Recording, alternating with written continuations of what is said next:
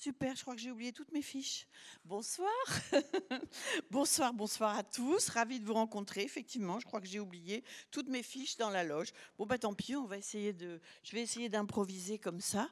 Euh, merci d'être avec nous pour. Euh, ben, euh, j'allais avoir une, une, explication, une, je vais y arriver.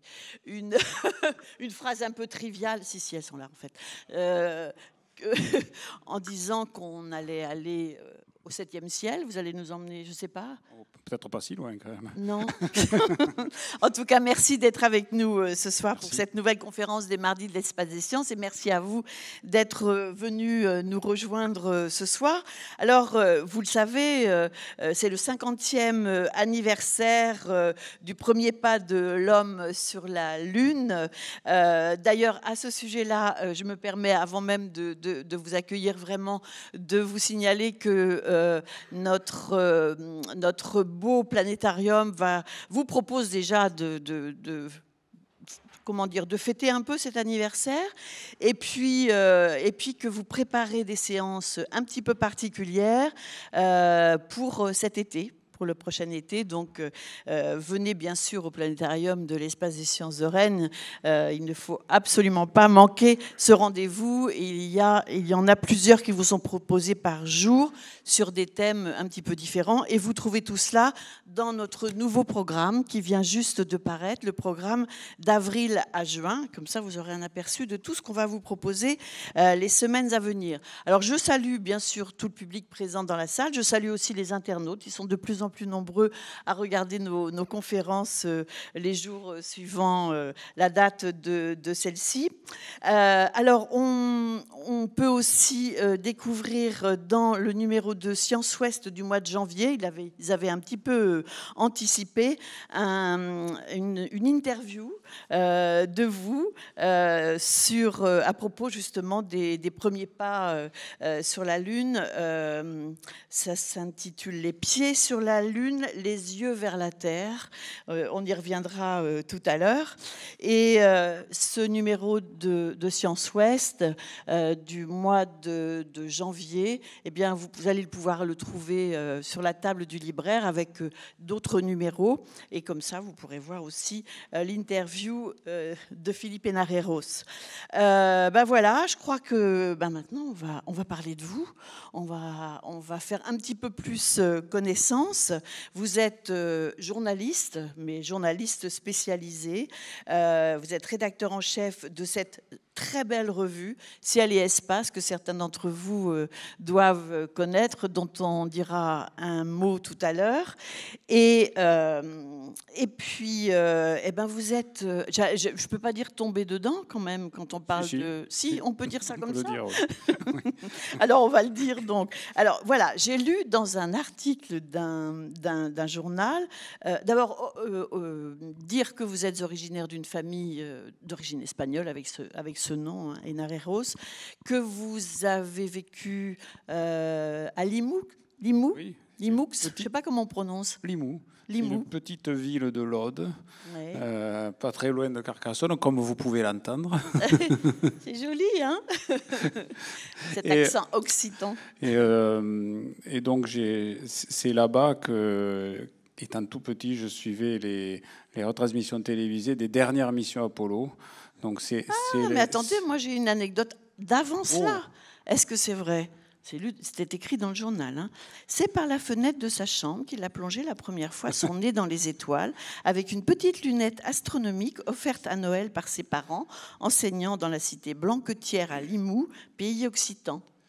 Et oui, ça c'est vrai, mais j'avais 12 ans et c'était plus tard. ah, c'est plus tard. plus tard. Ça, c'est l'observation astronomique. Euh, évidemment, euh, oui, quand, vous disiez tout à l'heure que je suis tombé dedans étant petit, c'est la vérité. C'est la, euh, je suis né en 1969, donc, en 67. Et, Pardon Oui, en 67. 67. Hélas, j'aimerais être né en 69, ça me ferait deux ans de moins. Mais donc en 69, j'anticipais un peu le fils de ma pensée. J'étais quand même trop petit pour suivre ça à, 3h50 du matin euh, dans la télé, vous l'imaginez. Euh, donc j'ai vu euh, l'émission Apollo à la fin en 71-72, quand j'avais un peu le, la conscience de ce qui se passait. Et et c'est pratiquement mon plus ancien souvenir. Ah, quand on a 4 ans, 5 ans, on a, on a peu de souvenirs de ces âges-là. Et parmi les peu de souvenirs que j'ai de ces, ces âges-là, c'est de regarder la télévision et de me dire mais quand est-ce qu'on va retourner sur la Lune? Et vous allez voir, plus on vieillit, plus on se souvient des, des souvenirs, des premiers, premiers, premiers souvenirs. Alors peut-être que j'étais devant la télé en 1969, je me souviens. C'est possible, c'est possible. Alors votre parcours, vous avez fait Sciences Po à Toulouse, vous avez fait une licence d'administration publique, il hein, vaut mieux cadrer les choses au cas où. Euh, ensuite, diplôme de l'Institut français de presse, puis un DESS euh, technique de l'information et de la communication. Et alors, qu'est-ce qui vous a amené comme ça à vous intéresser, euh, enfin, vous, vous y intéressiez déjà, mais à, conjuguer finalement votre passion et votre travail? C'est une rencontre, comme bien souvent, la, plupart du temps, les scientifiques qui viennent ici nous parlent de rencontres qui, qui vont influencer, je pense que c'est un petit peu vrai pour tout le monde, mais qui vont influencer leur, parcours. Vous, c'est une rencontre avec Alain Sirou, qui était euh, rédacteur en chef de, Ciel et Espace, c'est ça déjà? Ben, En fait, euh, euh, j'étais donc passionné d'espace et d'astronomie depuis toujours.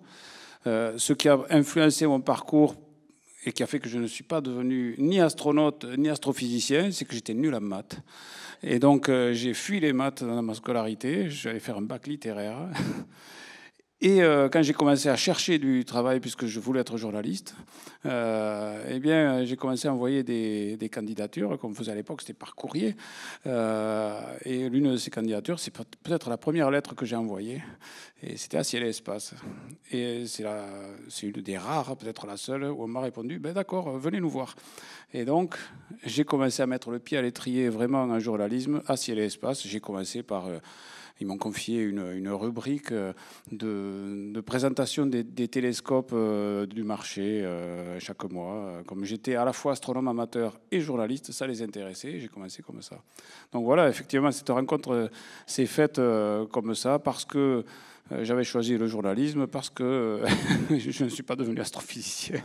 Et vous, et, vous, vous, allez succéder à, ce poste de rédacteur en chef Alors ça, c'est beaucoup, beaucoup plus tard. J'ai commencé à, à Ciel Espace euh, dans, le, dans, le, métier, on appelle ça à la pige. Donc j'étais hmm. pas, ah euh, j'avais pas intégré la. C'était déjà difficile d'intégrer des rédactions à l'époque. Ça l'est encore plus aujourd'hui. j'ai commencé à, faire des articles comme ça qui étaient payés à l'article, donc à la, à la, pige. Et puis ce n'est qu'en 99, après que j'ai fait d'autres piges pour d'autres journaux, Sciences et Vie notamment, que on m'a proposé de rentrer à la, à la rédaction.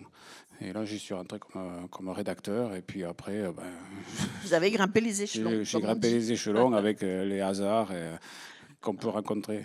Vous êtes aussi consultant pour de nombreux médias, vous êtes euh, chroniqueur dans, euh, assez souvent dans l'excellente émission La tête au carré sur France Inter, vous avez écrit plus d'une douzaine d'ouvrages dont Histoire d'étoiles chez Delachaux et Niesley, Observer le ciel, Histoire des... Alors, et puis, ben voilà, les, livres que l'on peut trouver sur la table du libraire qui est venu ce soir, la librairie euh, Le Fayeur, il y a, il y a celui-ci, le guide d'astronomie.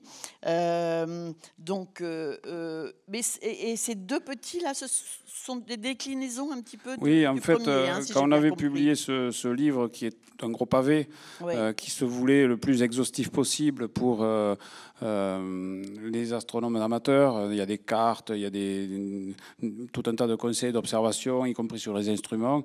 C'était un livre qui était cher, et puis l'éditeur a voulu le décliner, le découper en petits morceaux, en parties. Alors, par exemple, vous avez là observer les, planètes, parce que voilà, quand on observe les, étoiles et les planètes, c'est pas la même technique d'observation que si vous voulez regarder les, nébuleuses et les galaxies. Se repérer dans le ciel. Voilà, il y a se repérer dans le ciel qui sont les bases pour savoir euh, comment euh, ne pas se perdre parmi les, les étoiles. Et puis euh, il y en a d'autres, observer le Soleil, la Lune, qui est encore autre chose que les planètes et les galaxies. Alors un, mot sur cette sur cette revue Ciel et Espace. Vous, pouvez nous, nous, nous en dire un mot?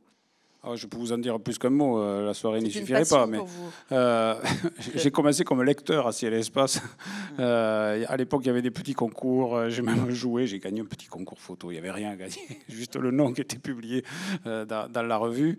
non, c'est une revue qui existe depuis après la guerre, mais c'était une revue d'association. Elle est devenue une revue vendue en kiosque à la fin des années 70 et elle est devenue mensuelle en 82. Et euh, bon, à l'époque, j'étais euh, lecteur et naturellement, c'est une revue qui, qui a vraiment l'ambition d'être à la portée du plus grand nombre. on essaie d'entrer de, dans le détail des articles, des, sujets, pardon. Euh, on essaie d'expliquer les choses qui sont parfois complexes. On parle de matière noire, euh, d'énergie sombre, euh, de phénomènes astrophysiques compliqués, en physique solaire, tout ce qu'on veut. mais on essaie de le faire sans aucune équation, hein, même pas une addition, c'est un gros mot pour nous, de manière à essayer de ne perdre personne en chemin. Moi, le premier, je vous ai dit que j'étais nul en maths. Donc, si moi, premier lecteur du journal, en tant que rédacteur en chef, je commence à voir des équations arriver, je vais dire non. Donc, c'est une revue certes, qui euh, semble spécialisée comme ça, parce que l'objet de la revue est spécialisé, c'est l'astronomie et l'espace. Donc c'est pas très large. Euh, mais euh, en termes de d'accessibilité, en tout cas moi je fais des efforts pour qu'elle soit accessible au plus grand nombre. Parfois on échoue, je le reconnais, mais la perfection n'est pas de ce monde, il faut bien faire avec. Alors ce soir, le thème de, cette conférence est aussi le thème de ce magnifique livre qui s'intitule Ils ont marché sur la Lune, le récit inédit, des explorations euh, Apollo, avec une préface de, de Bertrand Picard. Excusez du peu. oui, je, figurez-vous, je l'ai croisé à une émission de La Tête au Carré, sur un plateau de France Inter. On croise beaucoup de monde, là, c'est très intéressant. J'imagine. On, croise des célébrités, donc c'est toujours euh, très intéressant. Et euh, Bertrand Picard, ça, bah, il est connu, c'est un explorateur. Et il a en plus de cette activité d'explorateur, autre chose qui fait qu'il me semblait être la personne appropriée pour préfacer cet ouvrage, c'est que étant petit, à l'âge de 11 ans, 10 ans, 11 ans, il vivait avec ses parents en Floride. Euh, son père qui était aussi euh, versé alors plutôt vers l'océanographie, il vivait dans le quartier où il y avait tous les astronautes. Et euh, les astronautes du programme Apollo, qui étaient destinés à aller sur la Lune, vivaient dans des villas, dans un même quartier. Ils formaient une espèce de, de famille élargie. Et Bertrand Piccard, qui était gamin, aller euh, avec ses parents manger euh, chez les Armstrong, Aldrin et autres, autres célébrités aujourd'hui. Il a vu ça en tant qu'un témoin privilégié, presque comme s'il avait été un enfant de ces astronautes-là. Et le jour du lancement d'Apollo 11, il est allé avec Von Braun. il, a dormi chez, chez Von Braun. Il le raconte à la préface pour être sûr de ne pas manquer le décollage. Donc, bah, j'ai tenté le coup, je l'ai contacté euh, via euh, son éditeur et il a, il a accepté et j'en suis très ravi. Alors ce livre-là, cette, cette, passion qui dure depuis, euh, depuis si longtemps et qui, qui débouche sur, sur ce livre qui, que vous avez mis, je crois, plus de deux ans à Deux ans et demi en gros à le faire. Pourquoi, pourquoi avoir attendu si longtemps avant de l'écrire? je me le demande. Et pourquoi l'avoir écrit maintenant Non, en fait, j'étais un peu comme tout le monde.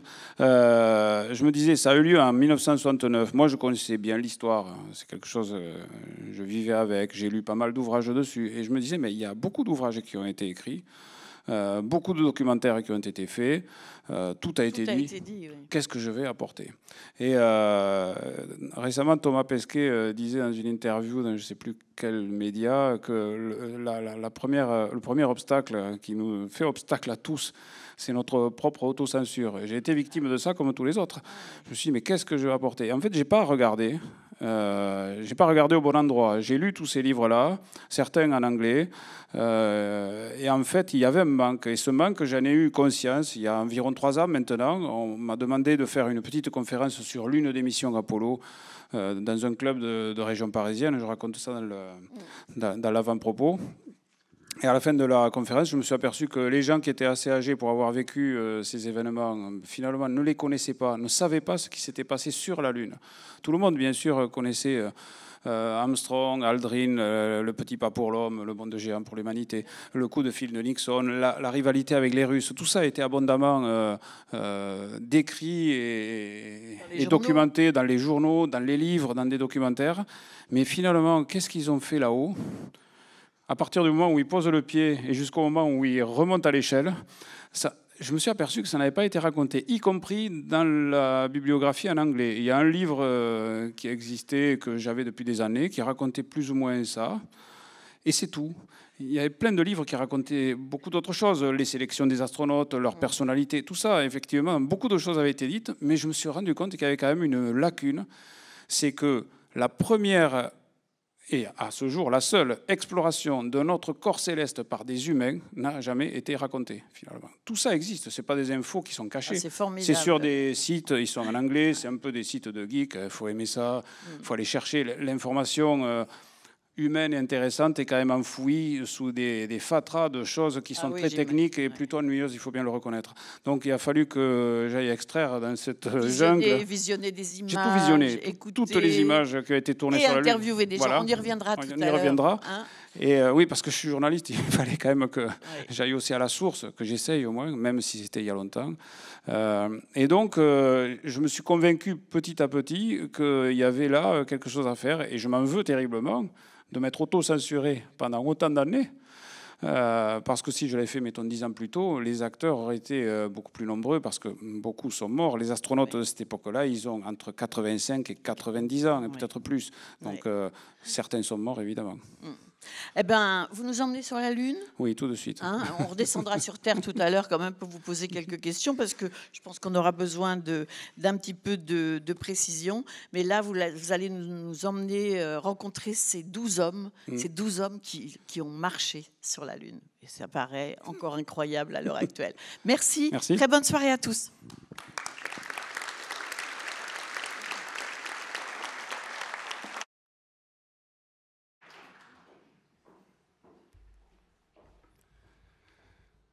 Bien, c'est parti.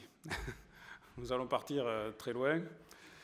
Euh, j'ai commencé euh, mon livre, comme je vais commencer cette conférence, par une mission où, pour ceux qui le savent, ça ne nous a pas échappé, elle n'a pas été envoyée sur la Lune, mais autour de la Lune.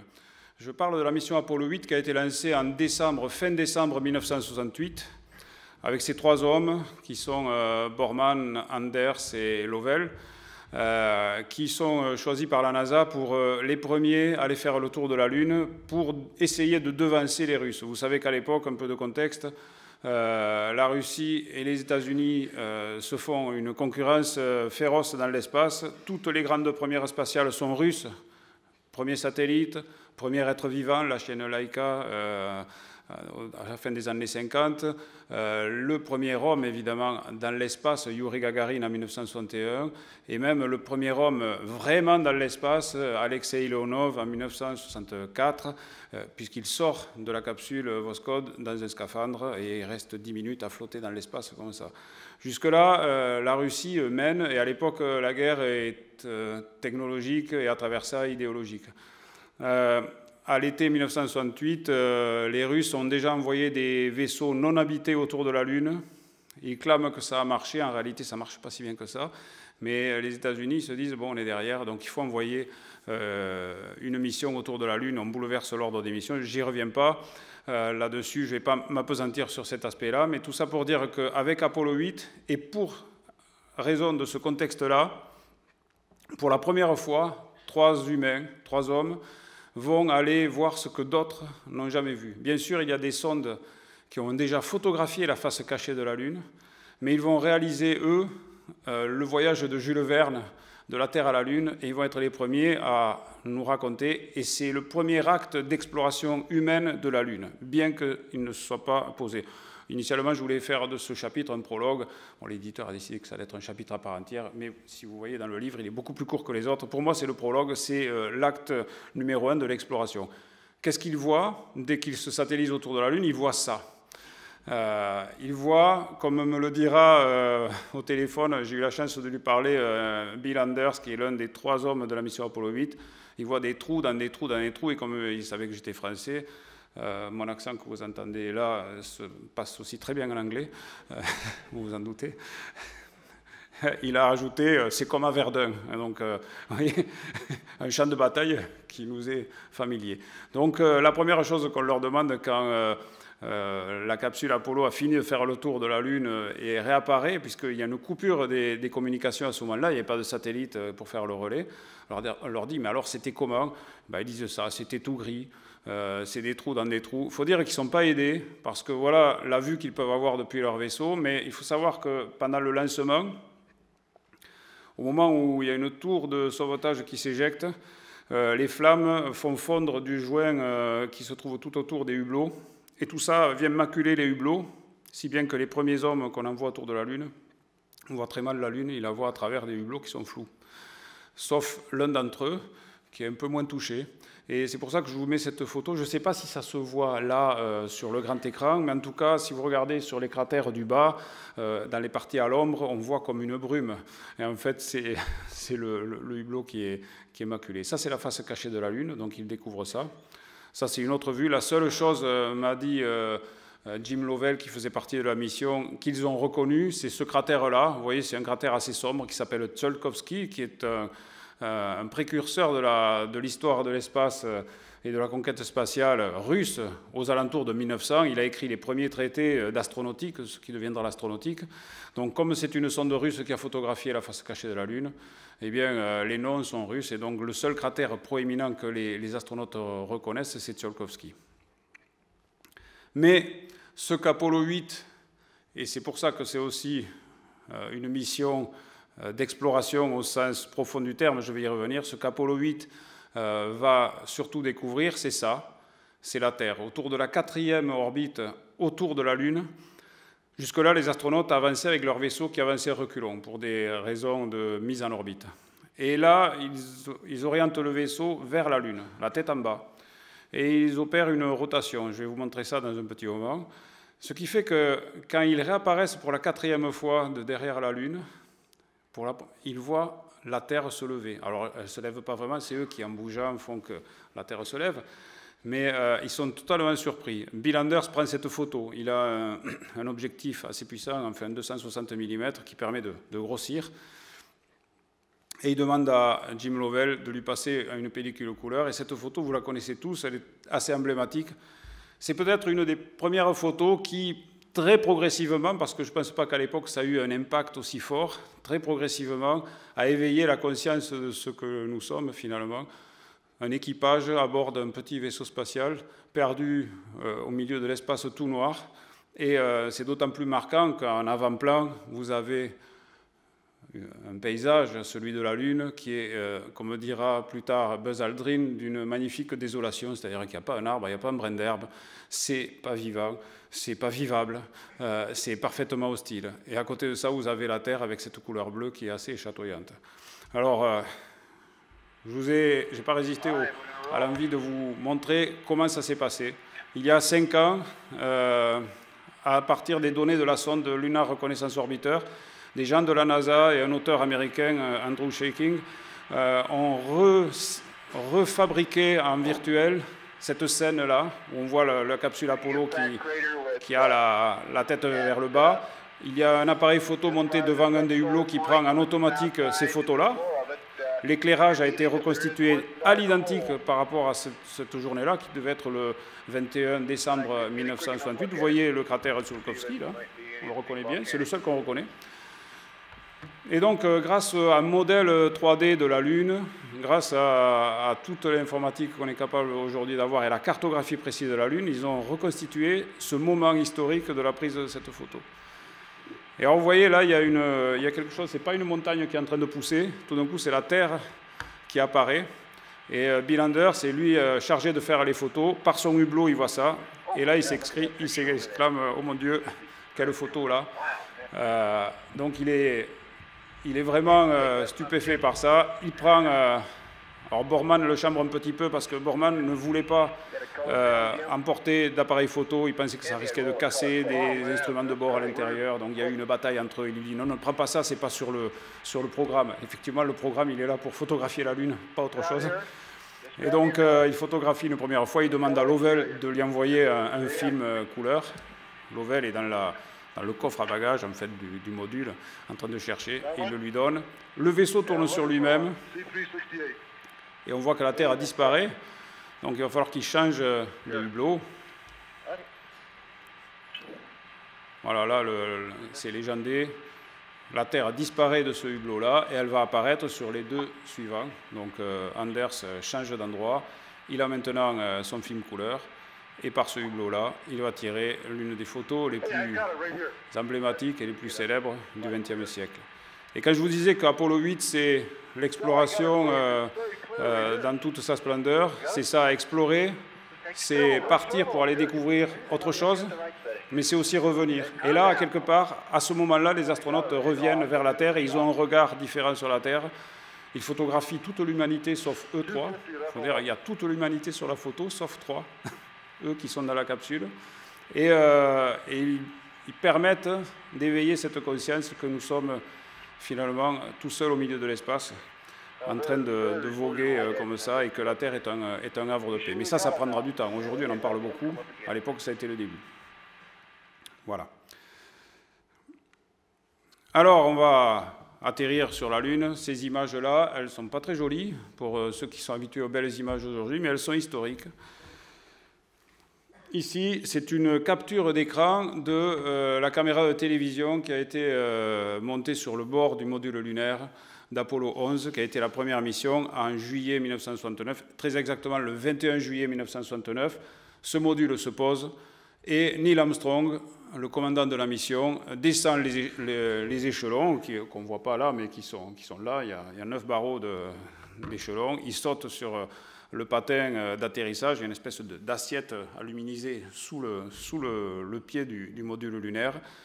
Il tient un, bras encore accroché à, l'échelle et euh, il pose le pied gauche sur la Lune et il déclare C'est un petit pas pour un homme, un bond de géant pour l'humanité. Alors j'ai mis comme titre Apollo 11 le premier pas, bon c'est un peu bateau, mais en fait c'est ça parce que cette mission, euh, elle n'est pas d'exploration.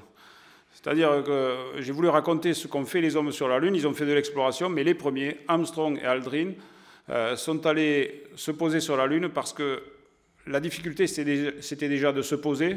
Je ne vous le raconte pas là, mais ça a été quand même assez euh, difficile et Armstrong a été un très bon pilote. Et ensuite c'était de savoir si on pouvait sortir sur la Lune, travailler sur la Lune, euh, bref, s'en sortir et faire quelque chose.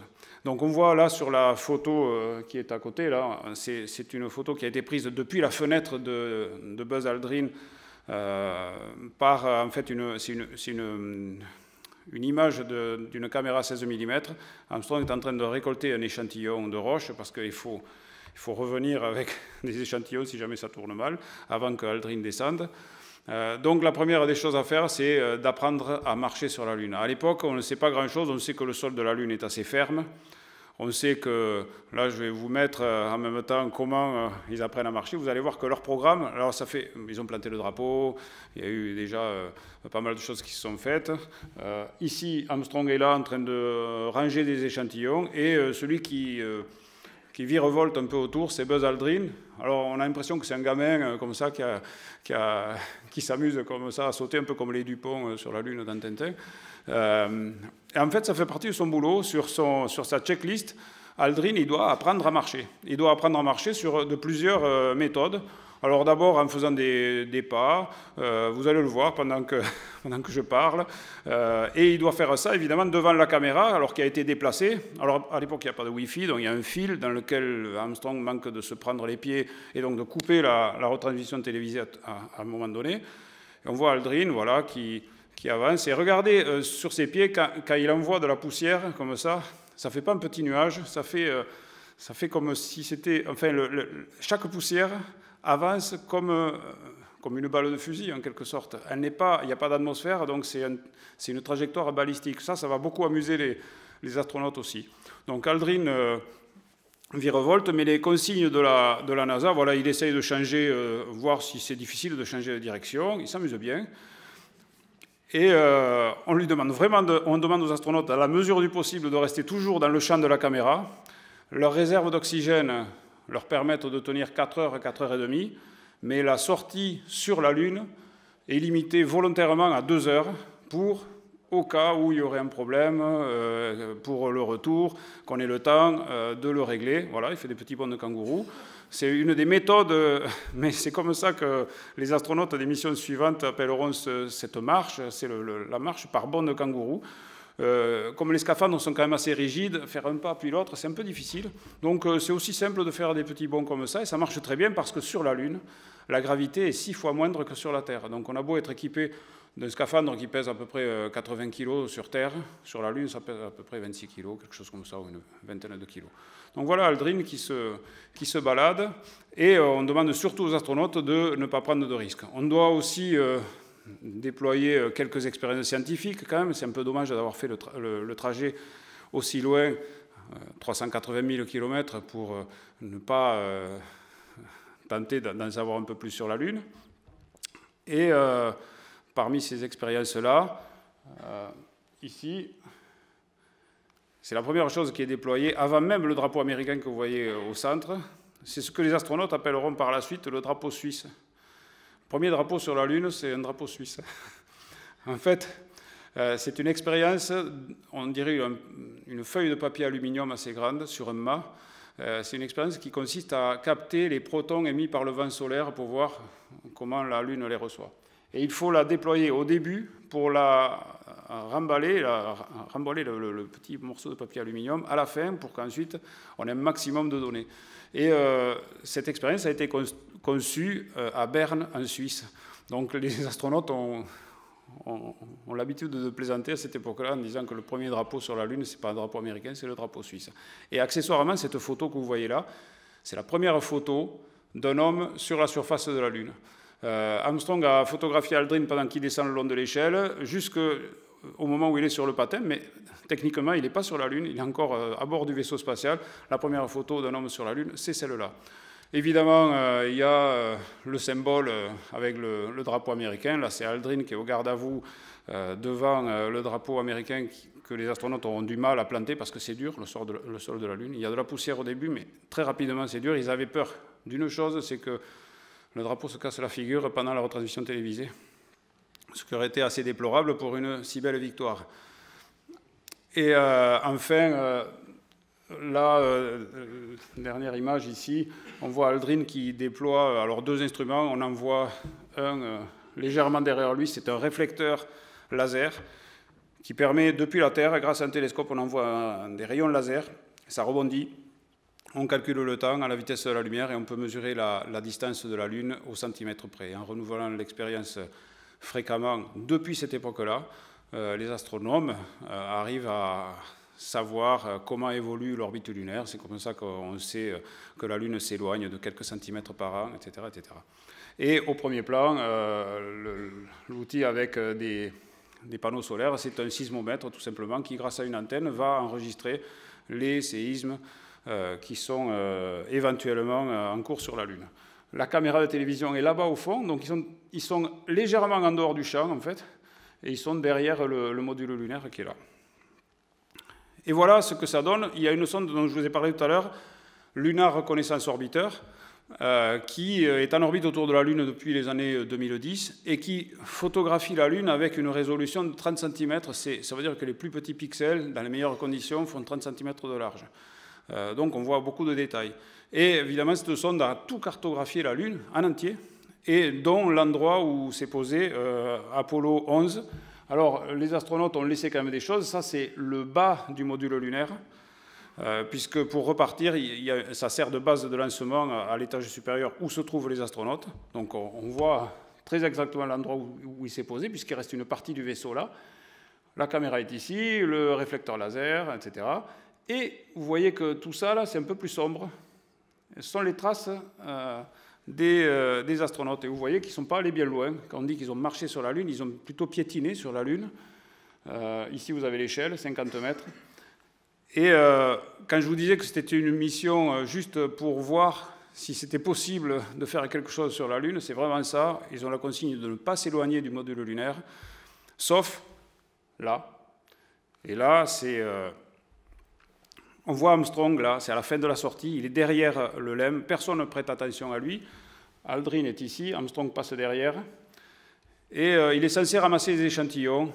À ce moment-là, euh, le Houston leur dit il vous reste 10 minutes avant de commencer à rentrer dans le LEM. Ça fait plus de deux heures qu'ils sont là. On voit Armstrong qui disparaît et sciemment il sort vraiment du champ. Et il fait le petit trajet que je vous ai montré euh, sur l'image précédente.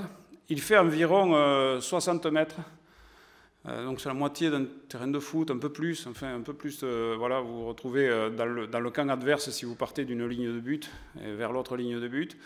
Et parce qu'il prend l'initiative d'aller voir ce cratère pour le photographier. Alors ça donne ça. C'est un petit cratère qu'il a survolé juste avant de se poser, qu'il a évité. Et il se dit qu'un cratère, comme on le lui a enseigné dans ses cours de géologie, c'est un petit forage naturel qui a été fait par une météorite et qui permet de mettre à jour des roches. Et donc photographier ça sera peut-être très intéressant pour les, géologues. Et quand ils se retournent vers euh, l'endroit d'où ils viennent, ils photographient le site. Euh, c'est la photo de, droite euh, avec le module lunaire qui est posé. On voit le drapeau, la caméra et là le drapeau suisse, là le drapeau et là la caméra. Voilà, donc ça, ça dure trois minutes. Il, il, revient très très rapidement, il fait quelques photos, il ne prend pas d'échantillons. Et euh, sur Apollo 11, l'exploration se limite à ces trois minutes-là, qui sont une initiative personnelle de Neil Armstrong, qui, au lieu de ramasser quelques cailloux de plus, a décidé d'aller euh, voir un peu ce qu'il y avait dans ce cratère, ce que les géologues euh, apprécieront d'ailleurs. Alors, j'ai passé rapidement sur Apollo 11 parce qu'il n'y a pas beaucoup d'exploration. Là maintenant, on sait, on sait qu'on peut marcher sur la Lune, on sait qu'on peut y aller, on a confiance dans le matériel surtout. Euh, à l'époque, il faut savoir qu'au moment où le module lunaire se pose, euh, sa fiabilité est encore en jeu. Hein. C'est quand même un, un engin euh, risqué. on ne sait pas s'il va être capable de se poser, s'il va être capable de remonter. Donc avec Apollo 11, on a débroussaillé tout ça. Apollo 12 a une mission, est une mission qui survient quelques mois après, c'est en novembre 1969. On ne le sait pas souvent. D'ailleurs, je ne sais pas si parmi vous, il y en a qui connaissent les noms des astronautes qui étaient euh, sur la mission Apollo 12, c'est bien. C'est bien, il y a une personne, bravo. c'est normal. Le deuxième homme que vous voyez là, qui est photographié euh, comme ça par la trappe de sortie, parce qu'il fallait euh, se, se, mettre à reculons, descendre comme ça à plat ventre, c'est Pete Conrad qui est pris par Alan Bean en, photo, une très belle photo, au moment où il descend sur la Lune. Alors la mission euh, euh, d'Apollo 12, elle est aussi et surtout de se poser avec précision, parce qu'il y a un petit couac dans la mission Apollo 11 qui a très bien fonctionné, c'est que euh, Armstrong et Aldrin se sont posés à plus de 4 km de l'endroit prévu, en dehors de l'ellipse qui était prévue. Si bien qu'on ne savait pas pendant des mois, ou pendant des semaines plutôt, après la, la fin de la mission, où s'était posé ce module lunaire. Michael Collins, qui était le troisième homme en orbite autour, avait un petit télescope et il était censé les voir, mais il ne les a pas vus parce qu'il les cherchait à l'endroit où ils étaient censés être. Il n'y était pas. Donc il n'a pas pu euh, dire où ils étaient précisément. Et ça, ça pose un problème si on veut explorer euh, la Lune. Si on n'est pas capable de se poser euh, précisément, si vous définissez des objectifs scientifiques, par exemple un cratère, euh, une crevasse ou une montagne à aller voir, et que tout ça doit être à portée de, de randonnée euh, pédestre ou plus tard de, de voiture, eh bien il faut, il faut absolument se poser au bon endroit. Si vous vous posez en dehors des clous, c'est n'est pas possible, vous ne pourrez jamais explorer. Donc Apollo 12 avait pour mission de se poser à un endroit précis, et quoi de mieux qu'un endroit qu'on connaît déjà dans l'océan des tempêtes, qui est une des mers lunaires, il y a en 1967, une sonde spatiale, Surveyor 3, s'était posée et avait pris euh, des photos. Et donc on décide de se poser à côté de cette sonde. On a un repère. Alors ça marche très bien, Pete Conrad est un très bon pilote, les logiciels euh, de l'époque, les programmes pour se poser au bon endroit en tenant compte des difficultés qu'il peut y avoir autour de la Lune, je vous passe les détails, mais il y a des histoires de gravitation qui bougent, et c'est ça qui a un peu fait dévier Apollo 11. Donc on remet tout ça, euh, on, recale tout ça, et Pete Conrad se pose à 170 euh, mètres de la sonde. Il aurait pu se poser dessus carrément s'il avait voulu, mais il se trouve qu'elle était déjà dans un cratère à l'ombre et que c'était plutôt dangereux. Donc il a décidé de contourner un peu le cratère et de se poser dans un endroit sûr à 170 euh, mètres. Là, on voit son coéquipier Alan Bean qui déploie des instruments scientifiques. En gros, il ouvre le coffre à bagages le coffre arrière du, module lunaire, il ouvre le, capot de la voiture, pour sortir cette fois une station scientifique euh, un peu plus ambitieuse. On a parlé de deux instruments, trois avec le drapeau suisse sur Apollo 11. Là, il y en a tout un tas d'autres euh, qu'on va installer à au moins une centaine de mètres du module lunaire. Et ça va être l'objet de la première sortie sur la Lune. Tout à l'heure, les astronautes ont fait deux heures, deux heures et demie euh, de sortie. Ils n'en font qu'une et puis ils repartent. Là, ils sortent 4 heures, ils rentrent à bord, ils dorment un peu, ils mangent, et ils ressortent 4 heures de nouveau avant de repartir. Donc, première sortie, ça va être le, le modèle de toutes les missions Apollo.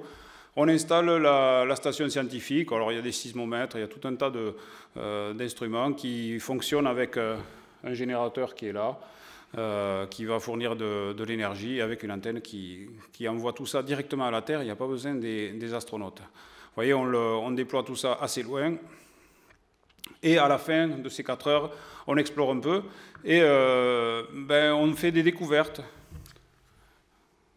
Ici, là, c'est bizarre, on dirait mini-volcan. C'est d'ailleurs comme ça que les astronautes appellent euh, cette chose-là. Ça, fait à peu près un mètre de, de, haut. Ils en voient deux ou trois, comme ça. Ils sont très intrigués. Alors ça fait passer un peu à voilà, ces gros mythes quand même, avec des, espèces de petits pics comme ça. On a l'impression que c'est peut-être du fromage ou du beurre. Euh, en fait, c'est pas un mini-volcan, évidemment. Euh, on saura plus tard que c'est des, rochers qui ont été euh, expulsés par des cratères et puis qui ont été érodés après par d'autres mini-impacts. Donc ça donne ces espèces de, de mont Fuji miniature. Et puis euh, les astronautes se hasardent un peu plus loin sur un cratère qui vont voir, ils vont voir des, roches cassées. Et là, c'est un des premiers selfies finalement, euh, puisqu'ils oh, se photographient leurs ombres qui sont démesurément longues euh, dans, le, dans le cratère. Il faut savoir qu'à Apollo 12, dès les premières minutes de la mission, les astronautes cassent la caméra. Ils la pointent vers le Soleil. Le détecteur est grillé. C'était une caméra couleur cette fois. Et donc, il n'y a plus aucune retransmission. Et les chaînes américaines de télévision, refusant de faire de la radio, euh, ben, ne retransmettent plus rien. Donc, cette mission est passée complètement sous silence. Il n'y a que ces photos. Alors, il y en a beaucoup plus que celles que je vous montre, mais il n'y a que les photos euh, pour, euh, pour cette sonde-là. La première sortie se termine. Et là, c'est une photo qui a été prise à la fin de cette première sortie. Et on voit que dans ce cratère, qui est partiellement à, l'ombre et partiellement au soleil, on voit un truc là, ça c'est la sonde de Surveyor 3. Alors quand les astronautes voient cette, euh, cette image comme ça, ils se disent voilà, ça va être compliqué d'aller là, ça a l'air très escarpé. En fait, le soleil éclaire de manière très rasante le paysage et les moindres creux et les moindres bosses euh, sont euh, un peu exagérés par cet éclairage-là. Le lendemain, quand il va se réveiller, le soleil sera encore un peu plus levé et ils sont beaucoup plus confiants pour aller voir cette sonde. Il faut dormir, je n'ai pas de photos des astronautes à l'intérieur. Euh, j'ai essayé de demander à Alan Bean euh, comment ils avaient installé leur, lit. Ils ne s'en souvenaient pas bien, c'était il y a longtemps. Et en fait, euh, pour la première fois, alors qu'Aldrin et Armstrong dormaient à même le sol, ils, ont, ils, ont resté, ils sont restés quelques heures, ils n'avaient rien prévu pour ça. Là, on leur a mis des hamacs. Et alors ça, c'est un plan en coupe de la cabine. L'avant est ici, l'arrière ici. Euh, et donc il y en a un qui se met euh, le commandant euh, en haut avec un hamac dans ce sens et l'autre ici dans l'autre sens comme ça. Et ils dorment comme ça, mais comme on est toujours très prudent à la NASA, on leur dit vous ne retirez pas vos scaphandres, donc ils enlèvent le casque et les gants et c'est tout. Et en fait c'est extrêmement inconfortable, ils dorment quasiment pas. Euh, en plus, euh, Conrad a son scaphandre qui est mal réglé, il y a des sangles qui le, qui le scient. C'est assez, assez, difficile, mais c'est comme ça que dorénavant, les astronautes vont bivouaquer sur la Lune. Toutes les missions suivantes, ça va être ça. Il faut voir que c'est un espace extrêmement exigu euh, et ça va être leur, leur, lieu de vie. Le lendemain, on repart. Là, il n'y a qu'un film noir et blanc. Mais vous voyez, je vous montre cette trace. Je ne peux pas vous raconter tout, c'est écrit dans mon bouquin. Mais cette trace-là, il y a un astronaute qui, en marchant, euh, soulève quelque chose qui est un peu blanc, euh, du sable comme ça qui est blanc. Et l'autre lui dit, mais qu'est-ce que c'est que ça? Et en fait, euh, on a choisi cet endroit aussi parce que c'est un des fameux rayons du grand cratère Copernic. Je ne sais pas s'il y a des astronomes amateurs dans la salle, mais c'est un des gros cratères lunaires assez jeunes, avec tout autour des rayons blancs. Et ces rayons blancs, c'est des roches qui ont été éjectées lors de l'impact. Le cratère Copernic est à plusieurs centaines de kilomètres de l'endroit où s'est posé Apollo 12, mais on soupçonne que si on va là et qu'on trouve de ce matériau blanc, on pourra dater le cratère Copernic. Là, on fait déjà de l'exploration et de la science. Et quand ils voient euh, ce matériau blanc là qui sort, eh, ils en ramassent un peu et on l'analysera sur Terre, on le datera, 810 millions d'années. C'est comme ça qu'on date le cratère Copernic. Alors, s'il y a des gens qui se demandent l'intérêt d'aller sur la Lune, euh, encore aujourd'hui, ce serait quand même peut-être mieux d'avoir un morceau du cratère Copernic lui-même, parce qu'il y a quand même un doute. Donc, mais c'est comme ça quand même qu'on peut, en échantillonnant un endroit, euh, si on s'y prend euh, d'une manière assez carrée, arriver à avoir des renseignements sur d'autres endroits. Et là, c'est la première randonnée hors du, comment dire, du, champ de la caméra, qui est cassé, hein. euh, donc elle ne sert pas à grand-chose. Et on s'éloigne un peu, on doit voir plusieurs cratères. Vous voyez que là, ça c'est le LEM qui est là. L'astronaute qui est ici est quand même assez loin. Et si vous regardez bien le, module lunaire, on ne le voit pas en entier. Alors ça a l'air plat comme ça quand on se pose sur la Lune, sur cet endroit-là. Mais le fait qu'il ne soit visible qu'à moitié, ça montre qu'il y a déjà des ondulations. Et euh, ce lemme-là, il fait 7 mètres de haut. En fait. Donc c'est à peu près, il y a au moins une ondulation qui fait euh, la moitié de ça. Et euh, ça commence à perdre un peu les astronautes. Ils ont des difficultés à se repérer. Là, quand ils voient ce cratère, ils avaient envisagé de descendre. Alors, ils, avaient, euh, ils s'étaient équipés comme Tintin, ils avaient une corde. Au cas où il y en a un qui, une corde de 10 mètres, euh, qu'il y en a un qui descende et qui ne puisse pas remonter. On est très prudent. Et quand Pete Conrad arrive devant ce cratère, il dit non, non, on ne va pas descendre là-dedans. En réalité, on verra plus tard que les dernières missions, avec la confiance qui s'accumule, ils auraient pu descendre, ce n'était pas dangereux. Mais là, on fait, on fait attention, on découvre. Je vous montre cette photo qui n'est pas très belle. Parce qu'ils découvrent aussi autre chose, les astronautes sur la Lune, c'est que quand on va dans la direction opposée au Soleil, on voit l'ombre de l'astronaute qui donne exactement la direction opposée au Soleil. Euh, le sable lunaire euh, renvoie une lumière comme ça, qui fait d'ailleurs que la pleine Lune est beaucoup plus brillante en proportion que les jours précédents. Euh, il y a une espèce de halo qui se crée, un halo antisolaire, et il n'y a aucune ombre. Alors là, évidemment, comme il y a un peu d'angle, euh, sur le bord, on voit les ombres de ces cailloux, mais si vous êtes ici, il n'y a aucune ombre. C'est éblouissant. Et ils doivent chercher des cratères dans ces conditions-là. Alan Bean, que j'ai eu la chance d'interviewer, me disait, vous savez, il n'y a, pas de pancarte avec les noms des cratères. Nous, on a des cartes qui sont des vues orbitales. Et on est au niveau du sol, et ça ne ressemble pas du tout. Donc euh, il faut tenter de trouver son chemin jusqu'aux cratères qui ont été désignés par les géologues pour euh, les explorer. Mais ils y arrivent bien parce que Pete Conrad euh, a un très grand sens de l'orientation et finalement, même si eux, sur le moment, ils doutent complètement de l'endroit où ils sont, on s'apercevra plus tard qu'ils sont passés exactement là où on leur avait demandé. Ça, c'est une vue qui est prise depuis le sud du, du Lem. Ils font un grand tour comme ça. Et le gros trou qu'on voit ici, c'est le cratère Surveyor où va se trouver la sonde, puisque le but, c'est quand même d'aller ramener un trophée. Euh, ramener un morceau de la sonde pour montrer qu'on a été au bon endroit. À cet endroit, les astronautes qui étaient beaucoup plus facétieux que euh, lors de la mission précédente, Armstrong, Aldrin et Collins étaient, comme ils se définissaient, enfin, selon les mots de Collins, des aimables étrangers. D'ailleurs, ils étaient sympas entre eux, mais euh, en dehors du boulot, ils n'allaient pas boire un coup ensemble. Eux, là, les trois de cette mission-là, c'était des, des potes qui allaient tout le temps ensemble, ils avaient la même voiture, ils sortaient aux mêmes endroits. Donc ils avaient toujours envie de faire euh, euh, ben, des choses qui, qui, les amusaient. Et là, euh, Bean et Conrad ont décidé d'amener un retardateur. C'était en option sur les, appareils photo de l'époque, ça se clipsait dessus pour pouvoir poser l'appareil sur leur trousse à outils. Il y avait un pied pour l'appareil photo mettre le retardateur et faire euh, la première photo où il serait deux sur la photo, parce qu'il y en a toujours un qui photographie l'autre.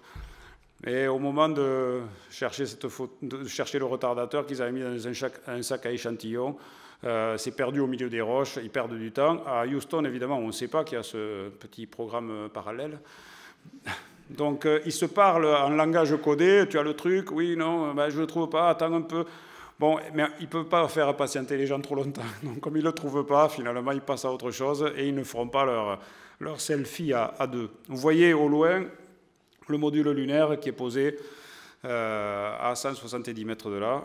Et c'est la première fois et la seule fois qu'on se promène, que des gens se promènent sur des paysages, sur un paysage planétaire qui a été photographié auparavant par une sonde, c'est-à-dire que les chercheurs qui voulaient avoir euh, telle roche qui était sur la photo et qui était totalement inaccessible ont pu demander aux astronautes d'aller la chercher et de la ramener sur Terre. Ça, je vous montre le parcours, parce que l'intérêt, c'est ça. J'ai mis à la même échelle Apollo 11 et Apollo 12. Euh, le LEM est là. Le plus loin qu'ils sont allés, c'est ici, en passant par là. On voit les traces. C'est toujours une photo de LRO, la sonde Lunar Reconnaissance Orbiteur. La sonde Surveyor 3 qui est là. Et retour à la base. C'est à peu près la même échelle, j'ai essayé de le mettre à la, même échelle, 100 mètres, 50 mètres. Vous voyez, ça c'est les 50 mètres d'Armstrong, ça a pris 3 minutes. La deuxième sortie, elle prend 4 heures et elle est entièrement consacrée à la, géologie. Après Apollo 12, on sait qu'on peut aller de l'avant, qu'on peut euh, euh, utiliser les ressources, que, quelle, euh, d'oxygène on a, quelle marge de sécurité on a, à quelle vitesse les astronautes bougent à pied sur les scaphandres qui sont encore une fois très rigides. Et donc, il arrive, ce qui nous arrive à tous quand on apprend quelque chose et qu'on prend un peu confiance, on commence à commettre une erreur. Je ne sais pas si vous, faites la première fois du, patinage, euh, du patin à glace, au début c'est très hésitant, vous faites très attention à ne pas tomber. Dès que vous commencez à y aller, euh, vous prenez confiance et c'est là que vous tombez parce que vous êtes euh, trop confiant. Donc Apollo 14, c'est une mission qui arrive après la fameuse Apollo 13 en 1970 qui a failli ne pas arriver sur la Lune à cause euh, d'un réservoir qui a explosé et qui a mis en danger euh, les astronautes. Bon, ils ont fait le tour de la Lune, ils ont réussi à revenir sur Terre vivants, ce qui était un exploit. Donc il y a eu un petit euh, temps de délai avant de relancer Apollo 14. Mais donc en janvier-février 1971, Apollo 14 repart avec le même objectif qui était assigné à Apollo 13, à savoir une zone un peu plus difficile pour se poser. Vous voyez, le paysage, il est plus aussi plat que sur les deux premières missions. Il y a des montagnes, on a confiance dans le matériel, on commence à aller dans des endroits un peu plus intéressants. Alors, je passe très rapidement. Ça, c'est trois photos qui vous résument la première sortie. Schéma classique, les astronautes partent. Euh, là, ça vous donne une, idée de la qualité de la caméra de télévision. Elle n'était pas terrible. Euh, donc, ils sont chargés. Euh, comme avec des haltères, d'aller déployer une station scientifique comme voilà en partie, de faire des expériences scientifiques euh, sur le sol lunaire. là, par exemple, c'est une espèce de, manche. Au bout de ce manche, il y a des petites charges explosives. L'astronaute le met contre le, sol. Ça déclenche des petits séismes qui sont enregistrés par des capteurs et qui permettent de sonder comme ça l'intérieur de la, de la croûte lunaire. Bref, 4 heures pour déployer tout ça, il y a beaucoup de matériel, beaucoup de boulons à sortir, c'est compliqué. Il faut voir que c'est quand même pas facile dans un scaphandre. Mais l'objectif de cette mission, l'objectif géologique, vous voyez sur la photo de LRO, le LEM s'est posé là, la station scientifique a été euh, déployée ici. Le but, c'est ça. C'est ce cratère qui est, comme je vous le disais au début, il doit faire à peu près 700 mètres de diamètre. Euh, c'est un forage naturel. Quand des, météorites tombent sur un corps céleste, ils le creusent. Et euh, vous avez euh, toutes les roches qui sont sorties, qui sont éjectées tout autour du cratère, celles qui sont sur le bord du cratère, par exemple ici, eh bien, ce sont celles qui viennent du plus profond. Et plus on s'éloigne, plus on a les couches qui sont affleurantes. Donc l'idée, c'est de partir du module lunaire à pied jusque au bord du cratère pour euh, ramasser des, roches et revenir. Dans l'intervalle, on doit s'arrêter à plein d'endroits parce que les scientifiques, eux, sur les photos de l'époque, voient des différences de teinte, donc ils pensent que c'est des différences d'éjectats, de couches géologiques, etc. Donc il y a tout un programme euh, à suivre, et ça, ça fait environ un kilomètre et demi. Vous voyez que ça rigole plus. Vu du sol, ce qu'on a vu, c'est vu d'orbite, ça a l'air assez ça a l'air assez plat, ça a l'air euh, sans difficulté. Vu du sol, ça donne ça. Bon, ce n'est pas, pas, non plus euh, les Alpes ou les Pyrénées. Hein. Euh, le cratère, il est quelque part au sommet de cette colline qui a l'air gentille et douce. Et donc, après une nuit à bord du, du, LEM, où les astronautes ont peur que le LEM bascule, parce qu'en fait, ils sont posés un peu de travers comme ça, et ils ne sont pas rassurés. Alors, ils mettent même à un moment donné une espèce de de, suspension pour faire un fil à plomb pour voir si c'est pas en train de, bouger tout doucement. Vous voyez, on, gagne la confiance, mais très progressivement. Donc Shepard et Mitchell, qui sont les deux astronautes, euh, partent. Alors là, on a une caméra de télévision qui fonctionne, mais elle est fixe, elle est posée sur un trépied, reliée à un fil au, au. Il n'est pas question de l'emporter avec soi. Et ça, c'est une image euh, de la caméra de télé qui est dirigée vers le Soleil la, colline est là, là il y a un astronaute et un autre. On les voit comme ça partir. Et dès qu'ils disparaissent du champ, l'image reste totalement fixe. Alors là, on n'a pas cassé l'image de télé, mais on a cassé la retransmission télévisée. Parce que là aussi, les chaînes américaines, euh, dès que ça reste fixe comme ça pendant des heures, euh, ben, ils passent à autre chose, ils passent, ils passent des séries. Beaucoup plus, il y a beaucoup plus d'action. Alors les astronautes partent, et malgré l'expérience d'Apollo 12, mais il découvre aussi qu'au bout de quelques dizaines de mètres, on voit que le lemme a l'air enfoncé comme ça, et il y a des ondulations qu'il ne voit pas.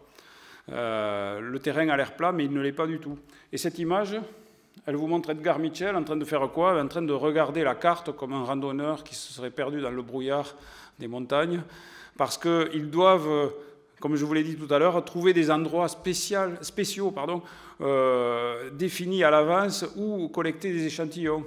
Et euh, alors ils sont ils sont perdus. Ils ne sont pas perdus au point de ne pas savoir retrouver leur chemin. Ils sont capables de revenir au, module lunaire, mais ils sont perdus dans le sens où ils sous-estiment euh, les distances. Et ça, c'est un effet que eux découvrent encore plus, de manière plus criante que les astronautes à Apollo 12.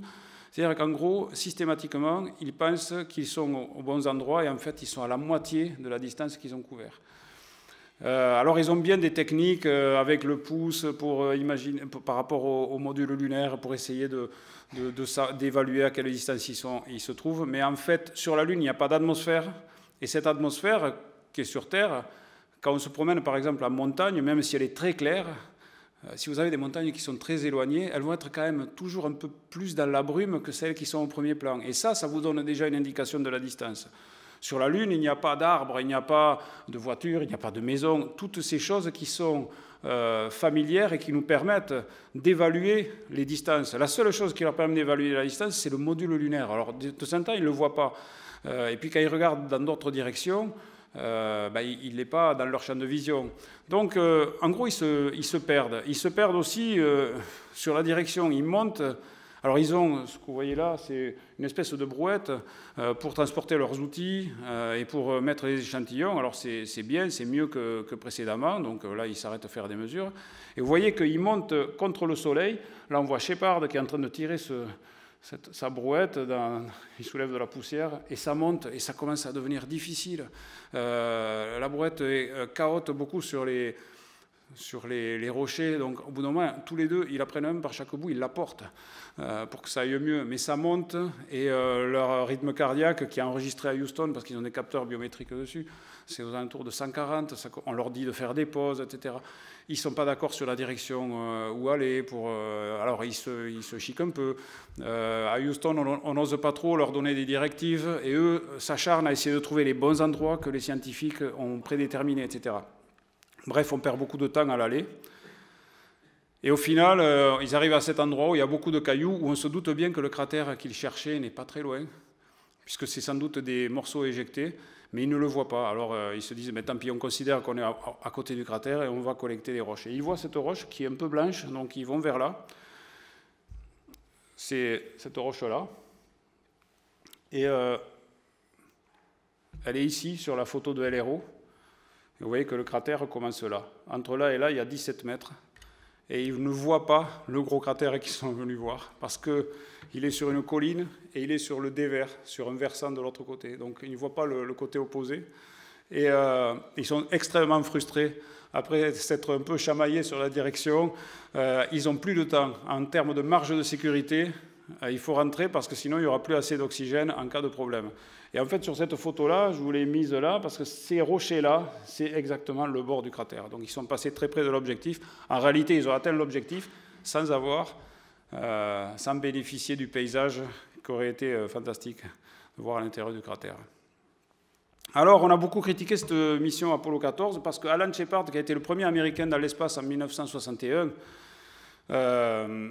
et c'est quand même un gars de l'étoffe des héros. Euh, il, est, bah, il a un gros ego, contrairement à Armstrong qui n'en a pas.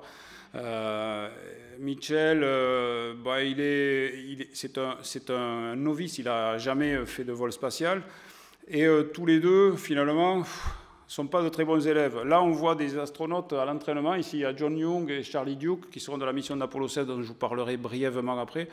Euh, ils sont sur un terrain pour apprendre la géologie, c'est des bons élèves.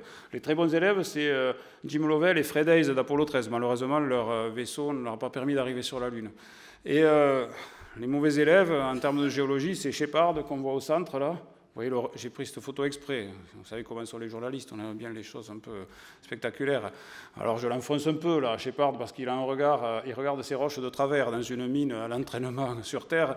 Et euh, Mitchell, ben, il semble pas très intéressé avec ses mains dans les poches et sa casquette de baseballeur. donc, ces, ces astronautes-là, on le sait, la géologie, c'est vraiment pas leur passion.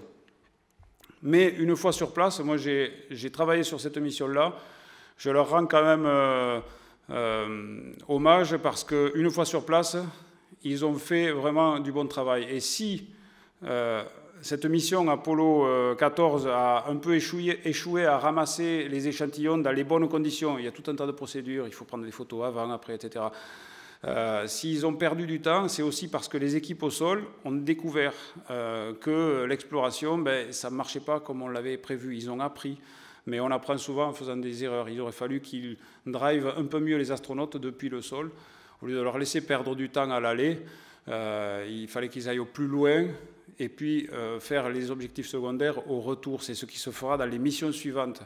Donc la faute de la mauvaise collecte des échantillons euh, sur Apollo 14 ne revient pas finalement à Alan Shepard, qui lui a beaucoup insisté pour euh, coller aux objectifs des scientifiques, mais à l'ensemble, à lui, peut-être parce qu'il ne s'est pas assez entraîné quand même, mais euh, aussi aux scientifiques qui, sur le moment, n'ont pas géré l'exploration comme il le fallait, mais en même temps, c'est comme ça qu'on apprend, c'est en faisant des erreurs.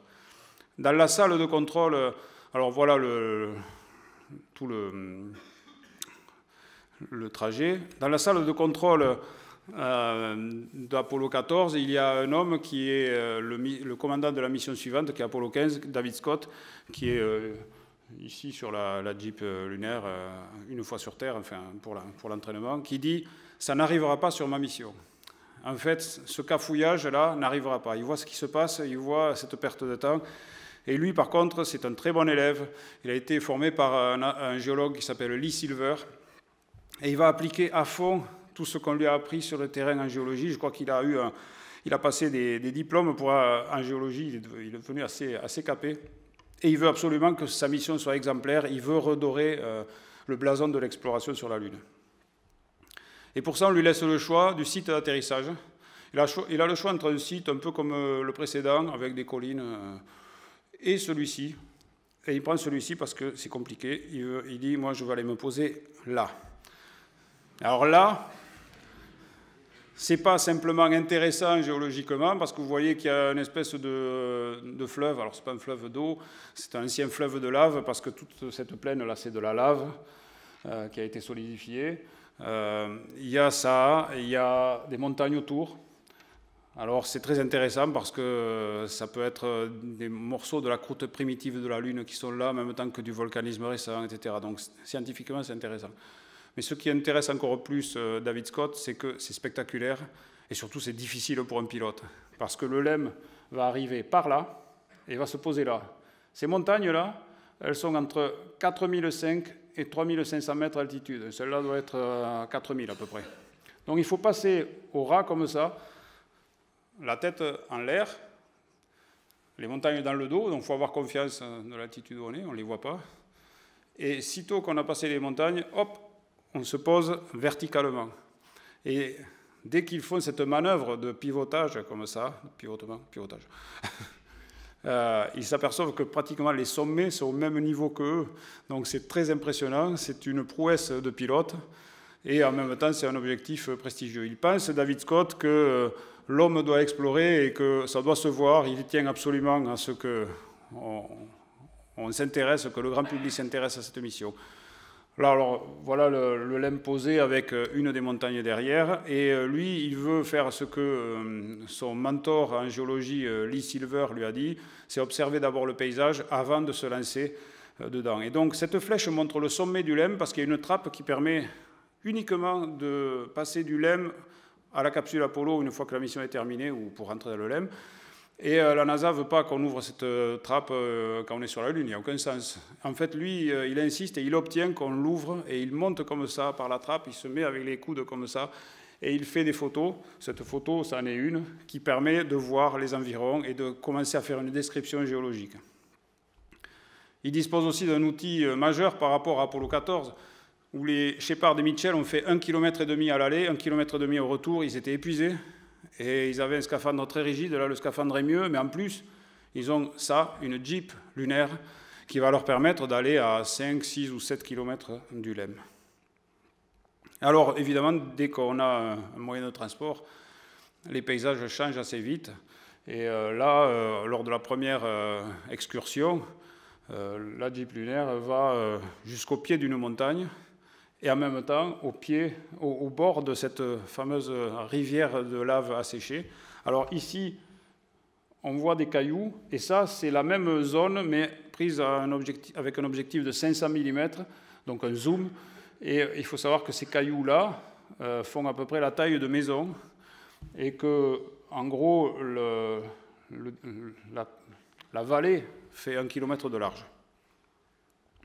Lors de la deuxième sortie, je vous passe le développement et le, déploiement euh, des, instruments destinés à sonder la Lune. Il y avait notamment une foreuse qui ne marche pas, il s'escrime, il, perd énormément de temps. En fait, l'instrument est mal, conçu, donc ça ne marche pas.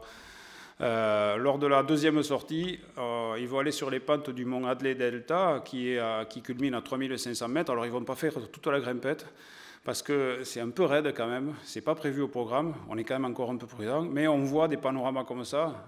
J'ai assemblé ici plusieurs photos. Euh, le LEM a dû se poser quelque part par là. Ils sont à 5 km. On voit les traces de leur Jeep. On voit le mont Adley qui est ici à 4500 mètres. On voit ici la rivière de lave qui est là. La première sortie, ils sont allés jusqu'ici. Et ils sont à flanc de colline. Et euh, au 500 mm, il y a des photos incroyables comme ça. À 5 km de là, ils photographient leur maison qui est posée là-bas. C'est le seul spot de couleur. Malheureusement, ils n'avaient que du film noir et blanc à ce moment-là. Mais euh, cette photo est vraiment incroyable. On voit euh, seule, le seul outil technologique humain dans un monde totalement minéral. Et là, je vous montre une séquence qui est un peu difficile à voir, mais euh, les astronautes progressent à flanc de colline. Le long, ils ne montent pas, hein, ils ne descendent pas, ils sont de, travers comme ça. L'horizon a l'air plat comme ça. Ils veulent aller voir un rocher qu'ils ont vu, ils, essaient de trouver des rochers, ils n'en trouvent pas beaucoup. Et vous voyez ici, en fait, là il y a une colline, le vrai horizon il est comme ça. Donc en fait, ils sont inclinés euh, vraiment, euh, vraiment beaucoup. Et euh, ils font ce, cette petite, ce petit trajet. Euh, cette image est enregistrée avec une caméra 16 mm, donc ce n'est pas envoyé en direct, hein. c'est développé après la mission. Donc à Houston, on a juste l'audio, on entend là, c'est assez, ça crépite beaucoup, la transmission n'est pas bonne. Voilà, on s'arrête. Vous voyez que quand on s'arrête, l'horizontale c'est là, et là, ça c'est la, c'est la pente. Et euh, à Houston, on n'a pas conscience de l'endroit où ils sont. En fait, ils sont très, très, très inclinés comme ça. Euh, les astronautes descendent, euh, Erwin descend et il comprend qu'il aura du mal à remonter tellement c'est en pente. Il ne pourra pas remonter dans la, voiture. Scott descend, essaie euh, d'orienter l'antenne de transmission de la, caméra de télévision parce que celle-ci est embarquée dans le rover et permet de suivre les astronautes partout où ils vont. Elle est même pilotable depuis la Terre. Il y, a un opérateur qui peut zoomer, qui peut la, diriger. Donc c'est déjà un peu plus Hollywood hein, que les premières, missions. Donc là, on voit euh, Scott qui est descendu, qui euh, essaye d'orienter l'antenne. En fait, c'est tellement en pente qu'il n'arrive même pas à viser la Terre. Donc il dit à Houston, bon, finalement, ça me prend trop de temps, je vous, vous, mets pas la transmission, oui, pas de problème. Et ensuite, on entend les astronautes qui ont des, des échanges un peu bizarres. Euh, il dit bon ben je vais me garer ailleurs, etc. Et ce qu'on ne sait pas, c'est qu'à ce moment-là, euh, David Scott remonte dans la voiture et fait euh, la première marche arrière sur la Lune. Alors ça a l'air de rien comme ça, mais avec le scaphandre, il ne peut pas tourner la tête. Il n'a évidemment pas de rétroviseur. Donc à Houston, on subodore qu'il se passe quelque chose, on ne sait pas trop quoi. Donc là, il est toujours en train d'essayer d'installer l'antenne et finalement, il renoncera. Et finalement, il va se garer un peu plus bas. Son coéquipier le rejoint, mais ça glisse beaucoup. Euh, et on leur pose des questions. Mais vous êtes sûr que vous n'êtes pas en danger? Attention, faites pas. Non, non, tout va bien, on le, prend, on le prend tranquille. Et quand il se regarde une deuxième fois, il sent que le rover commence à glisser de travers comme ça, dans le sens de la pente. Et il dit à son coéquipier ben, Viens ici, viens tenir le rover parce que j'ai peur de le perdre. Alors à Houston, on n'est qu'en radio, on entend ça. Et, eux, ils n'ont pas, euh, pas dans la voix des trémolos qui font qu'on se dit ils ont peur, mais quand même, on est un peu inquiet. Et euh, il y a une photo qui existe de ce moment-là. Alors ça, c'est, je vous ai mis euh, l'inclinaison réelle hein, de, la séquence vidéo que vous venez de voir. Là, l'horizon est là, donc on voit quelle est la pente. Là, ils sont arrêtés près de ce caillou que David Scott voulait absolument voir. Donc là, il est là. Et Jim Irwin, lui, il tient le rover là. Et on voit que là, la roue, elle ne touche pas par terre. Et tout se passe très bien, il ramène les roches, et au moment de réembarquer, alors il n'y a toujours pas d'image, hein, là il renonce alors à envoyer les images.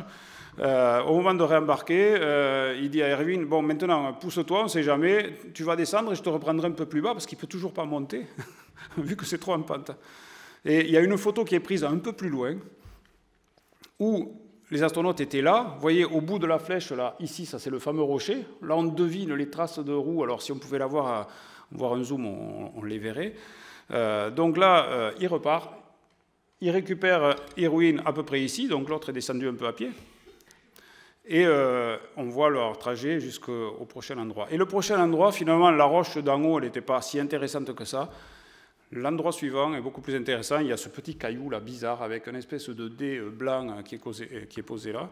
Et cette, roche, ils en sont sûrs au moment où ils la voient parce qu'eux ont bien bossé la géologie. Ils se disent Ah, ça, c'est un bout d'anorthosite. Alors, je ne vais pas vous détailler ce que c'est, mais en gros, c'est un bout de roche primitive de la croûte lunaire. Alors, ce n'est pas tout à fait primitive, elle sera datée à 4,1 milliards d'années, donc la Lune à 4,5, donc ce n'est pas la toute primitive, mais en tout cas, c'est des premières euh, roches de la, première croûte lunaire. Et euh, c'est ceux qui sont venus chercher. Et euh, la presse, toujours prompte à, titrer de manière un peu sensationnelle, vous le savez, va appeler cette roche la roche de la Genèse. grandiloquent comme ça, c'est bien, vous savez, avec Hubble, par exemple, quand Hubble avait photographié une nébuleuse avec des espèces de, piliers, on appelait ça les piliers de la création. Donc la NASA apprend quand même à communiquer à l'époque. Euh, et donc cette roche-là raconte une partie de, l'histoire de la Lune. Et vous voyez que cette photo de gros plan, on voit les traces des pas ici, il y a une espèce de gnomon ici qui donne la verticale. Il y a un nuancier de couleurs pour pouvoir interpréter. On voit le contexte avant collecte. Ils ont pris les mêmes photos après, etc. Donc ils font ça vraiment dans, l'art. Et puis ils rentrent. Alors, euh, en fait, il faut savoir que là, je vous laisse ces, images parce qu'elles sont assez extraordinaires. Euh, c'est de retour vers, la base. C'est caméras embarquées, comme on peut voir ça en Formule 1, hein, par exemple. Euh, ben, les astronautes, eux, ont quand même ont quand même été sur un site qui est vraiment euh, très intéressant parce que les montagnes, c'est des, des, roches qui ont été excavées du plus profond de la Lune et ils ont trouvé euh, ce qu'ils venaient chercher. Ils sont vraiment en train de, de, donner aux scientifiques les moyens d'explorer le passé, non seulement de la Lune, mais aussi de la Terre et puis de tout le système solaire. Là, vous voyez qu'ils suivent, euh, pour revenir à la maison, ils suivent leurs traces de, de roues comme les Dupont dans le désert, c'est toujours une histoire de Tintin. Mais euh, là, en fait, ils n'ont pas besoin de ça. Ils le font, c'est pratique, mais ils ont un petit système qui leur permet de naviguer, de savoir où était le LEM auparavant. Donc voilà les, fameuses images du rover lunaire. Alors ils vont aussi de nouveau investiguer près de la, rivière de lave euh, asséchée. Voilà un peu les, les excursions qu'ils font, la première ici, la deuxième là, et la troisième qui n'est pas marquée jusqu'ici.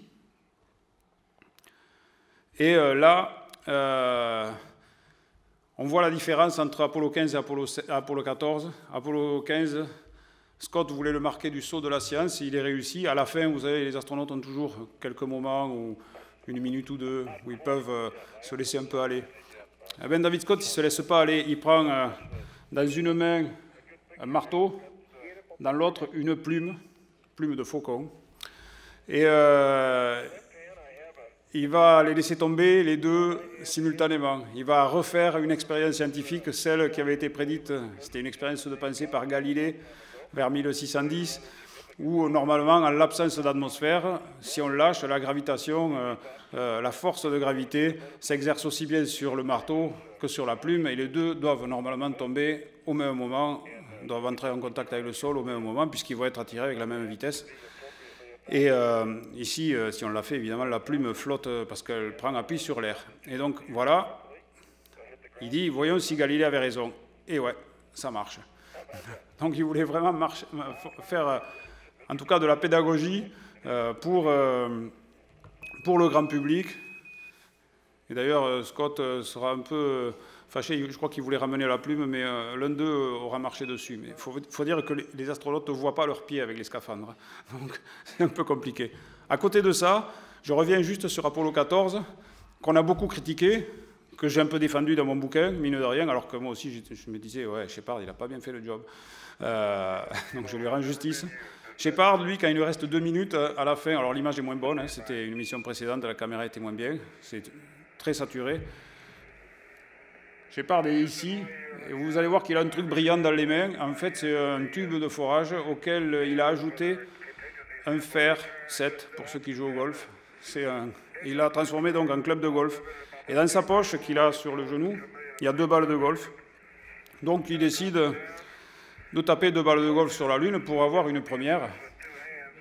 Et donc vous voyez qu'il y a quand même une petite dichotomie entre le message qui est envoyé par David Scott et celui qui est envoyé par Alan Shepard. D'autant qu'après, voilà, alors là il tape, pas très satisfait, en fait il a surtout soulevé de la terre, il a tapé dans la motte.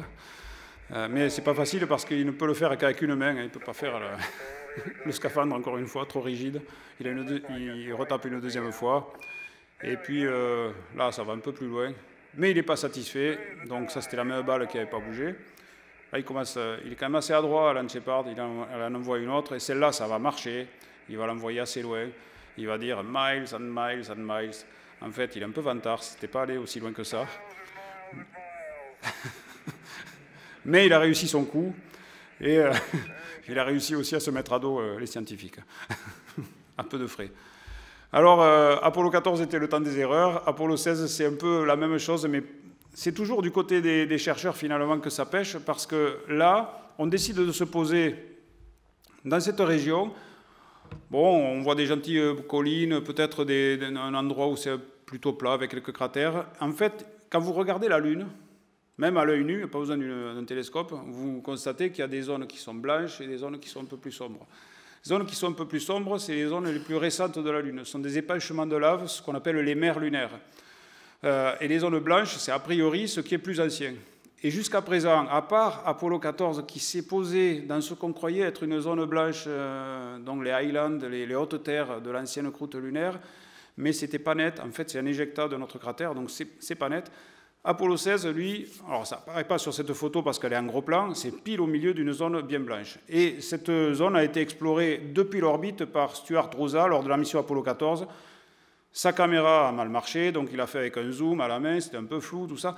Donc la, qualité des photos n'était pas terrible et les scientifiques ont bâti leurs euh, interprétations. Il faut savoir qu'à l'époque, on n'a pas cartographié toute la Lune, on cartographie qu'au-dessus de l'orbite équatoriale, de là où passent les, les missions Apollo. Donc on fait avec ce qu'on a. Ils ont ça, ils veulent quand même aller dans les Highlands, dans les zones claires, et euh, la résolution n'est pas très bonne. Mais de ce qu'ils voient à cette résolution-là, leur font penser qu'ils ont peut-être là les premiers volcans de la Lune, les, volcans primitifs, ceux qui ont percé la croûte initiale de la Lune.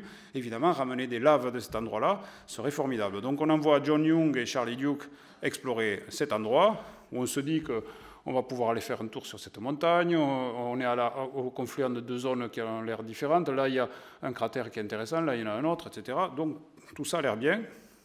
Mais on est quasiment sûr, on a une hypothèse de travail, mais une seule, c'est une région volcanique.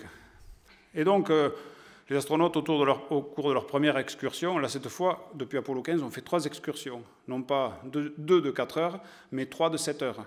Et on passe trois nuits sur la Lune. Donc, on vit vraiment sur la Lune. Première excursion, euh, on va voir une zone avec un, un, cratère. Alors là, pour la petite histoire, là, la flèche montre la caméra de télévision qui prend ça. Au moment où lui prend la photo, clique, et cette photo, c'est ça. Donc vous avez l'angle et l'angle opposé. C'était un clin d'œil. Euh, mais dès que les astronautes arrivent sur le sol de cette région, de ce qu'ils ont appris de leur géologie, rappelez-vous, Jung et Duke, Duke c'est les, bons élèves en géologie, donc ils, en connaissent un rayon. Ils disent, nous, des, roches basaltiques, euh, on n'en voit pas. On voit que des brèches, c'est-à-dire des, des, mélanges de météorites et de roches lunaires fondues sous les impacts.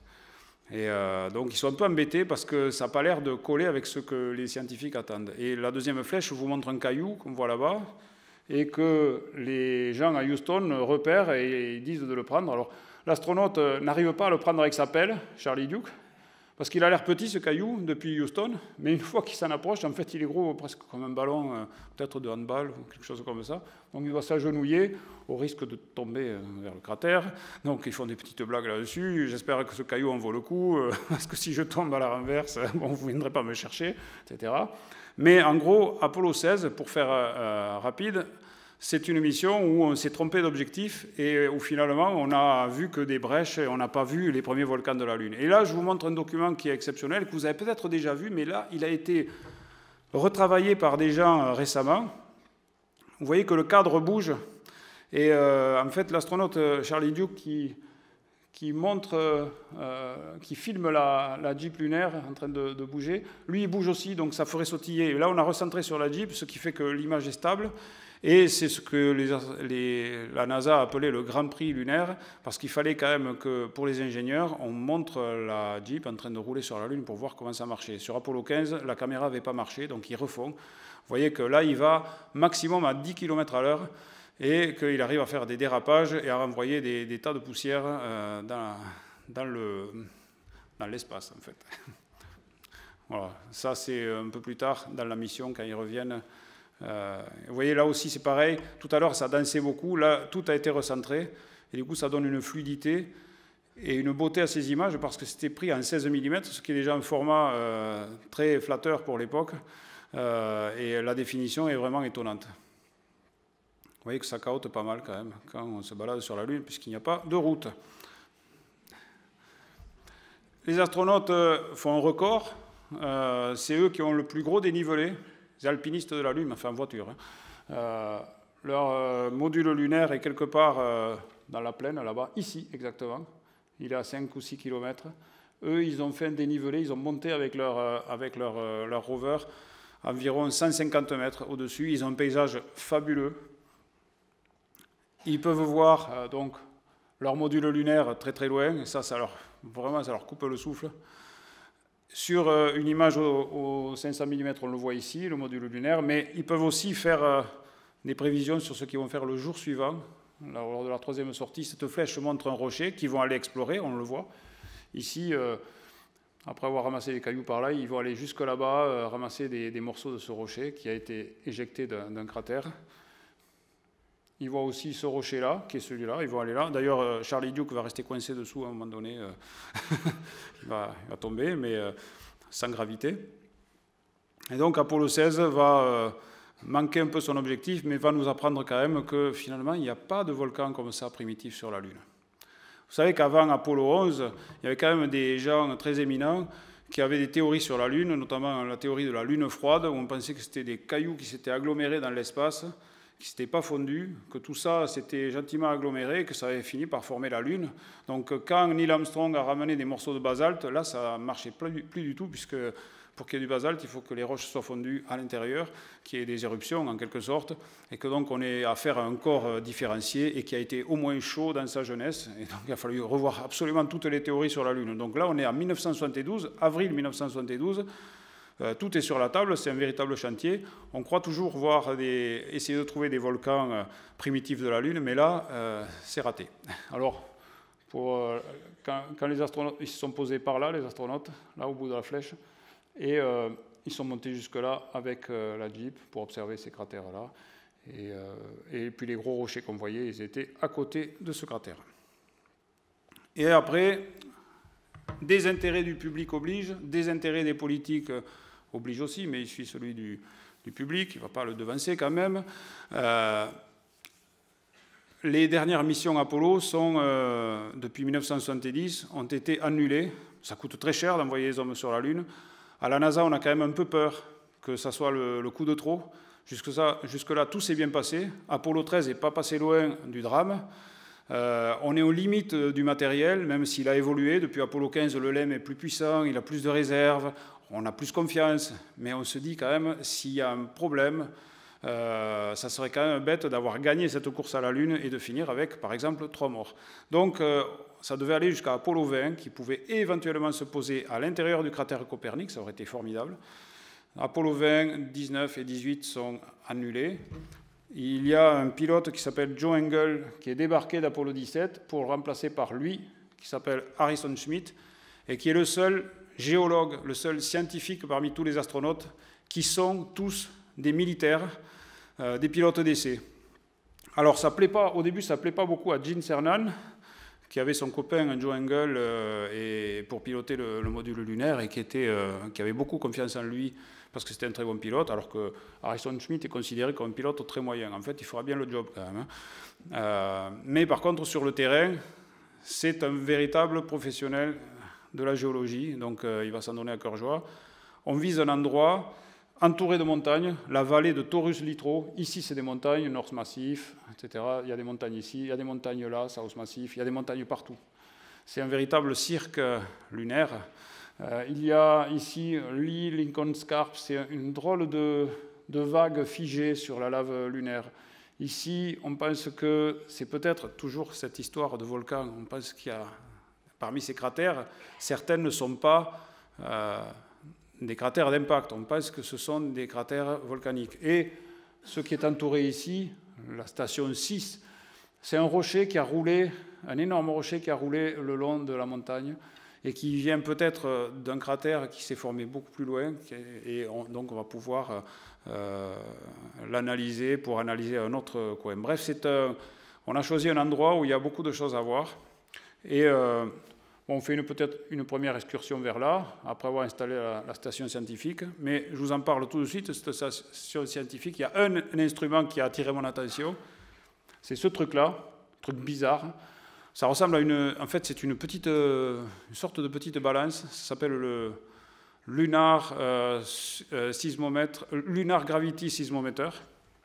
Et en fait, c'est un détecteur d'ondes gravitationnelles. Je ne sais pas si vous avez entendu parler de ça, mais en 2015, il y a des observatoires très sophistiqués sur Terre, LIGO et Virgo un peu plus tard, qui ont détecté pour la première fois des ondes gravitationnelles, des déformations de l'espace-temps, très difficiles à, voir. Eh bien à l'époque, il y avait un scientifique qui s'appelait Joe Weber, euh, qui a été le premier, le précurseur à vouloir détecter ces ondes gravitationnelles-là. Il a réussi à faire embarquer une expérience sur la Lune. Ce détecteur devait euh, fonctionner en même temps que d'autres détecteurs sur Terre et euh, détecter éventuellement entre la Terre et la Lune le passage d'une onde gravitationnelle par le changement de temps qu'il y avait entre dans les communications entre les deux instruments.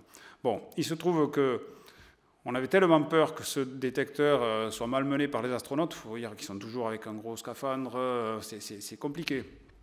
Donc on leur interdit de l'essayer sur Terre. Donc ils savent comment le déballer, mais ils n'y touchent pas. Euh, Harrison Schmitt, le géologue, il est quand même sceptique sur cette histoire-là, et il pense que ça va leur faire perdre du temps. Il déploie ce truc, et euh, au, bout de la troisième sortie, à Houston, on lui dit, il faudrait quand même aller voir le, détecteur, parce qu'il semble qu'il y a un truc qui ne marche pas. Donc il y va, on lui demande de tapoter un peu dessus, euh, il tapote, mais il est un peu sceptique aussi parce qu'on lui avait demandé de faire attention. Puis on lui dit non, vas-y, euh, tape-y vraiment dessus. Il dit, t'es sûr les gars? Oui, oui, vas-y. Donc il tape dessus. Et à Houston, ça va pas, on, se rend compte qu'il y a quelque chose qui ne marche pas. Alors on le soupçonne d'abord, lui, d'avoir mal déployé l'engin.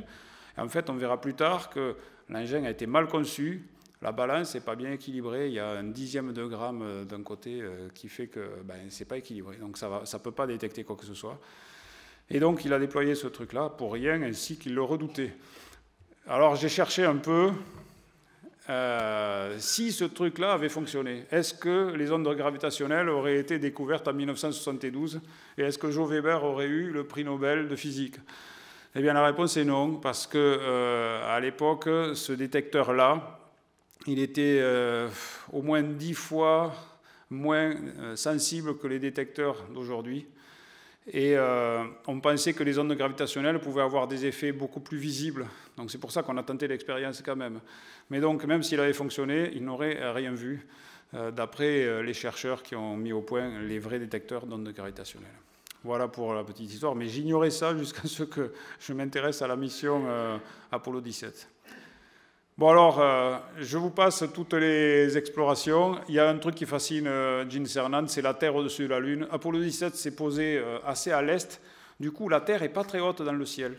Alors ça a l'air plat comme ça ici, mais en fait c'est une montagne qui fait 2000 mètres ou 1500 mètres de hauteur. Et donc il est au bas de la montagne, il est à peu près par là. Vous voyez ce rocher-là, c'est celui-là. Ils sont garés ici. Et il est venu là faire une photo avec là, la, terre est juste en dehors du champ. Malheureusement, sur cette photo, il ne la voit pas.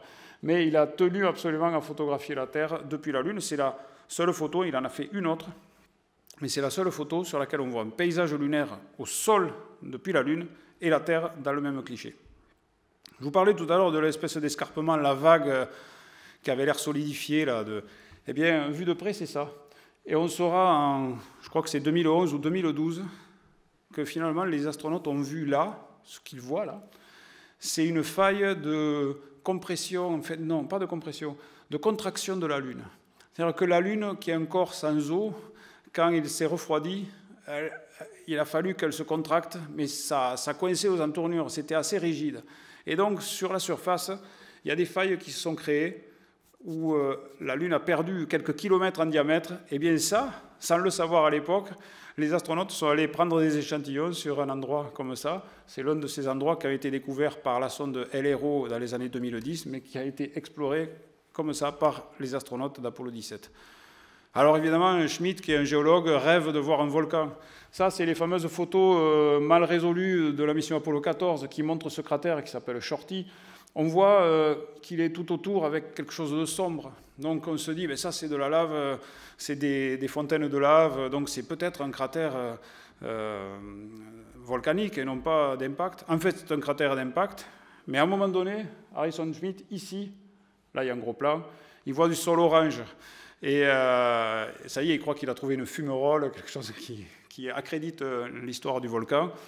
En réalité, oui, il a trouvé, c'est du volcanisme, puisqu'on est sur un sol basaltique, c'est une mer de lave là où il se trouve, mais ça n'a rien à voir avec le cratère, c'est juste des, des, des, éruptions comme ça, des fontaines de lave qui ont eu lieu bien plus tardivement. Il n'a toujours pas trouvé les fameux volcans euh, initiaux de la Lune.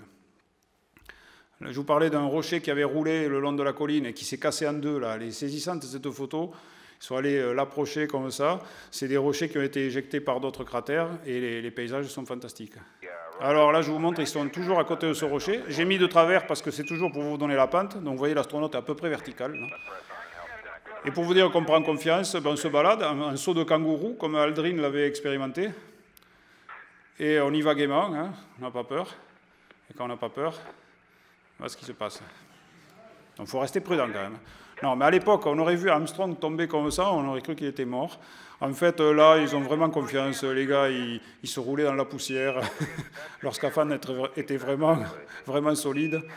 Euh, Schmidt demandera à, faire une quatrième sortie, pas une fois sur, euh, sur la Lune, mais avant la mission, il voulait une quatrième sortie dans l'espace, enfin sur la Lune pour explorer.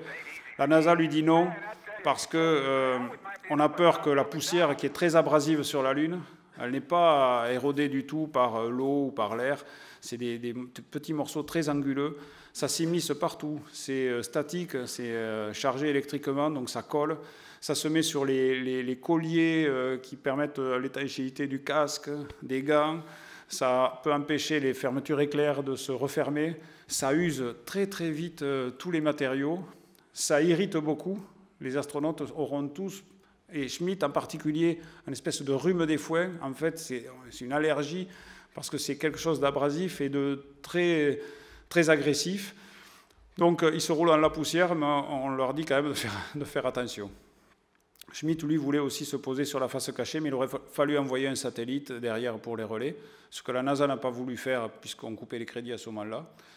Et ce que la Chine vient de faire et a envoyé récemment une sonde se poser, alors il n'y a pas d'être humain à bord, mais une sonde s'est posée sur la face cachée. Voilà, toujours la, même photo, là, à 4 km du LEM qui est posé au milieu des montagnes. Cette mission-là euh, aura vu les astronautes s'éloigner à plus de 7 km du LEM, à un endroit où ils ne le voyaient pas du tout. Vous voyez qu'on est vraiment hardi. Voilà la fameuse vallée euh, dont je vous parlais. Ils sont sur le flanc d'une colline, toujours avec un rocher qui a été éjecté et qui a roulé, là, comme ça. Le lem est quelque part par là, à l'autre bout. Euh, lors de la deuxième sortie, ils sont allés sur cette montagne. La première, ils sont allés par là. Et euh, voilà, en fait, c'est le symbole, c'est ce que j'ai choisi comme image pour la couverture de mon livre. Parce que c'est Harrison Schmidt, qui est un géologue qui court gai comme un luron dans un champ de pierre. Il est très content. très heureux. Euh, il n'a pas trouvé tout ce qu'il voulait, mais, mais il a quand même découvert beaucoup de choses. En particulier, il a permis, euh, ces, prélèvements ont permis d'établir la théorie actuelle de formation de la Lune, qui est celle d'un impact euh, géant avec une protoplanète contre la prototerre. Et ce qui est marrant, c'est que Schmitt, lui, ne croit pas à cette théorie. Donc il en a apporté la preuve, mais, enfin la preuve, en tout cas, c'est jamais définitif, mais, euh, mais aujourd'hui c'est très solide comme théorie. Et Apollo 17 se termine comme ça, avec, euh, avec un lancement en direct depuis la Lune, filmé depuis la, la, Jeep. La caméra est toujours euh, en autonome avec les batteries de la Jeep. Et, et à distance, il y a Ed Fendel, qui était la personne qui pilotait la caméra, avec un temps de latence quand même d'une seconde et demie. Et il a essayé de suivre le, vaisseau spatial. En incrustation, vous avez évidemment les images de la montée depuis euh, le, module lunaire qui repart vers la Terre. Et donc c'est pendant la remontée, enfin, lorsque Harrison Schmitt aura rejoint euh, Ron Evans en orbite autour de la Lune, qui aura un, euh, un message de, la présidence des États-Unis euh, qui leur sera lu. C'est pas Nixon qui téléphone cette fois, c'est moins, prestigieux. Donc on le fait lire à, un administrateur de la NASA et on sous-entend que peut-être d'ici la fin de ce siècle, on est en 1972, on ne retournera pas sur la Lune. Et ça, ça met Harrison Schmitt dans une colère noire. Il pensait que l'exploration allait se poursuivre. Et en fait, il comprend que tout va s'arrêter et pour longtemps. Voilà, tous ces récits, je les ai détaillés dans ce livre qui fait 500 pages. Euh, j'ai essayé de coller au plus près euh, de la vie des astronautes sur la Lune. J'ai évité tout ce qui était le voyage à, bien sûr je le donne euh, comme élément de contexte, mais c'est vraiment anecdotique parce que tout ça a été raconté par ailleurs. La rivalité entre les Russes, entre les Américains, ça je ne m'y suis pas intéressé, il y a des très bons livres là-dessus.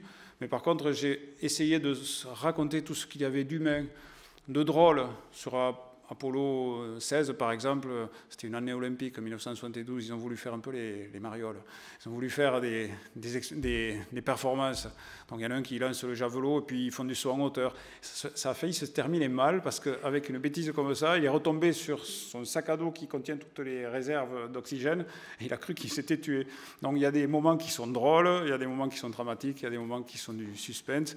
Il y a des moments d'engueulade. Il y a eu une grève sur la Lune lors d'Apollo 15. Ils étaient fâchés contre, contre les, les, contrôleurs de vol à Houston qui leur donnaient de mauvaises indications. David Scott dit on arrête pendant 5 minutes, on regarde la Terre et on profite du paysage. Il a bien eu raison.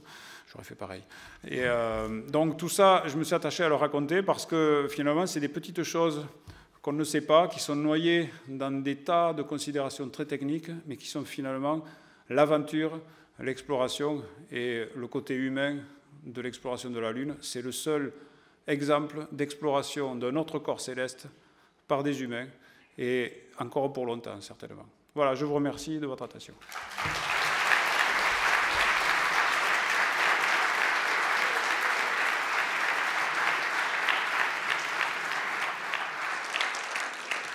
Voilà, superbe, euh, superbe aventure, fort bien racontée dans cette conférence, fort bien racontée dans, dans le livre où on apprend encore d'autres choses. Un livre qui se lit euh, vraiment euh, très facilement, qui est à la portée de tous. je voulais juste dire, j'ai toujours une petite pensée émue à chaque fois que je, lis le, récit de, de, ces, de, ces, explorations Apollo. J'ai toujours une petite pensée émue pour celui qui ne va pas mettre le pied sur la Lune, le troisième. À chaque fois, il y en a un qui reste. oui, c'est vrai que ça doit être terriblement frustrant. D'ailleurs, je m'étais dit que je pourrais me faire un livre, mais j'ai encore moins de documents que pour, les, pour ceux qui sont allés sur la Lune, parce qu'il y en a vraiment très très peu là, qui, sont, qui, restent en vie. Euh, ils ont vécu une expérience quand même euh, étonnante. C'est-à-dire que pendant que, surtout sur les dernières missions où ça durait quand même un peu, ils restaient euh, deux, trois jours tout seuls tout seul et vraiment, quand ils étaient de l'autre côté de la Lune, sur la face cachée, seuls dans l'univers. C'est-à-dire qu'aucune communication. Le seul bruit qu'ils avaient, c'était euh, le fonctionnement de leur vaisseau. Alors ils avaient un, travail énorme, ils avaient un programme d'observation de la Lune, etc. Mais Ils ont sans doute pris euh, quelques moments. Euh, je pense que ça doit être une expérience assez étonnante. Ils sont vraiment coupés du monde. Là, c'est vraiment le, cas de le dire. Ils étaient frustrés, mais par exemple, Michael Collins, le, troisième homme d'Apollo 11, qui est resté en orbite, aurait pu prétendre, c'était un astronaute très expérimenté, y compris au moment d'Apollo 11, il aurait pu prétendre euh, commander une mission pour se poser sur la Lune ultérieurement. Après tout, il y en a qui ont déjà fait le voyage plusieurs fois. Il y a Gene Cernan il y a Jim Lowell et il y a John Young. Donc euh, ça, ça pouvait se voir. Mais il a estimé qu'il a été à bord d'une mission historique et que finalement, il fallait laisser la place aux autres, quelque part. Donc euh, voilà, euh, en même temps, ces gens-là ont passé, je pense, des moments contemplatifs, tout seuls, sans bruit, au-dessus de ce paysage incroyable. Malheureusement, il n'y a que Al Warden d'Apollo 15 qui est toujours vivant. Il y a Michael Collins. Et je crois bien que c'est tout. Donc, euh, ils, sont, sont plus, euh, ils sont plus très nombreux. Ah si, et Ken Mattingly d'Apollo 16. Euh, et une dernière chose aussi que je voulais vous demander avant, avant de vous donner la parole, est-ce que, est -ce que ces missions auraient pu avoir lieu sans le, dramatique euh, accident qui s'est produit euh, euh, sur Terre avec Apollo, 1. Oui, elles auraient eu lieu. Apollo 1, bon, c'est c'est la découverte qui a un vice énorme dans le, dans le fonctionnement de, de, la capsule Apollo ça arrive sur Terre alors qu'il n'y a même pas de, carburant dans les réservoirs. On fait juste une répétition générale, c'est un incendie. Euh, on s'aperçoit que la capsule est mal conçue, que l'oxygène pur, c'est très dangereux.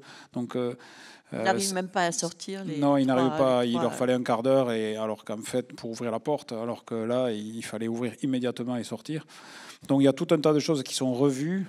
Euh, ça a retardé, mais en même temps, ça, a donné un coup de fouet. Et les gens de la NASA se sont dit non, on ne peut pas abandonner. En plus, on y a laissé euh, trois hommes et non des moindres. Enfin, il y avait Ed White qui était euh, un très bon astronaute et qui a été le premier Américain à sortir dans l'espace, qui aurait peut-être été celui qui aurait marché sur la Lune en premier s'il n'était pas mort. Il y avait Gus Grissom qui avait été le deuxième Américain dans l'espace.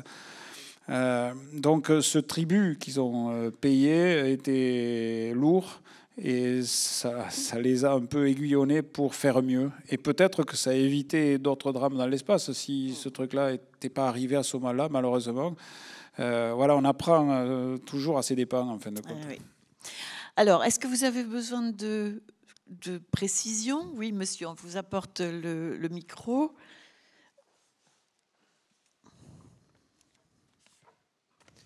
Donc déjà, bonjour et merci pour votre conférence. J'avais une question en fait, c'est pourquoi d'après vous ils changent à chaque mission euh, leur euh, l'équipage? Ah. Est-ce que c'est pas, enfin, est-ce que ça leur aurait été pas bénéfique de garder le même équipage et justement de les, former et de les améliorer à chaque mission En fait, il fallait beaucoup euh, d'astronautes disponibles pour l'ensemble du programme. Il fallait qu'il on ne pouvait pas compter sur, euh, par exemple, trois hommes qui allaient faire cette mission puis repartir trois mois plus tard. Chaque mission demandait aussi une longue préparation. Donc chaque équipage se préparait longuement pour sa mission en particulier.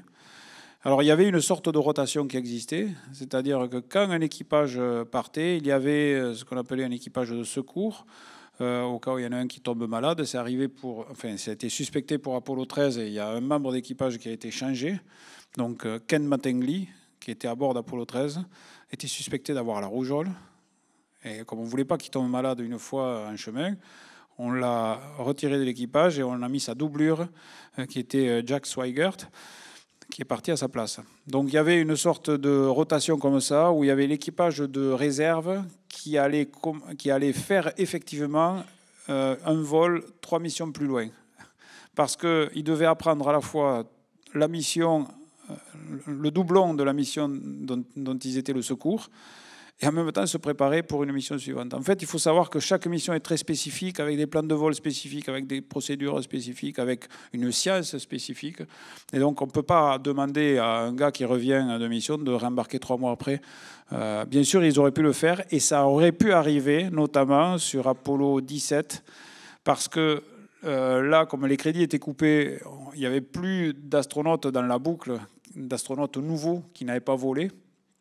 Et donc, on avait pris l'équipage Apollo 16, on lui avait dit, ben, voilà, vous ferez, euh, vous ferez l'équipage de doublure. Ce qui fait que si, euh, par exemple, Gene Cernan ou Harrison Schmitt étaient tombés malades, Charlie Duke ou John Young, qui étaient partis sur la Lune en avril 72, se seraient à nouveau retrouvés sur la Lune en décembre 72. Mais c'est le seul cas particulier. En fait, chaque mission doit être préparée très, très longtemps en amont et il faut beaucoup de, de gens. Ça, ça prend énormément d'heures. Une autre question? Oui, on vient vers vous. Euh, ici. Ici, merci. Thomas. Je crois qu'il y avait deux personnes, non, qui demandaient l'un à côté de l'autre, non? Allez-y, André. Qu'elles ont appris de la géologie de la Lune avec toute la récolte de pierres, de poussière et autres euh, éléments géologiques? Alors, il y a des livres entiers là-dessus, donc je vais essayer d'être bref quand même. Euh, la, Lune, les échantillons, la, première information qu'ils ont apportée, c'est la datation absolue d'un corps céleste. Sur Terre, il y a des roches anciennes, mais pas tant que ça, parce que vous savez peut-être, enfin, il y a la tectonique des plaques, il y a du volcanisme. Les roches terrestres qui sont en surface, des très vieilles, il y en a très peu et des roches vieilles de plus de 4 milliards d'années, en fait, il n'y en a pas. Il y a quelques inclusions euh, euh, dans des roches qui ont été mélangées. C'est des tout petits échantillons. On les a découverts il n'y a pas très très longtemps, enfin, il y a peut-être 10 ans ou 15 ans. Jusque-là, on n'avait rien de, moins de 3 milliards d'années ou quelque chose comme ça.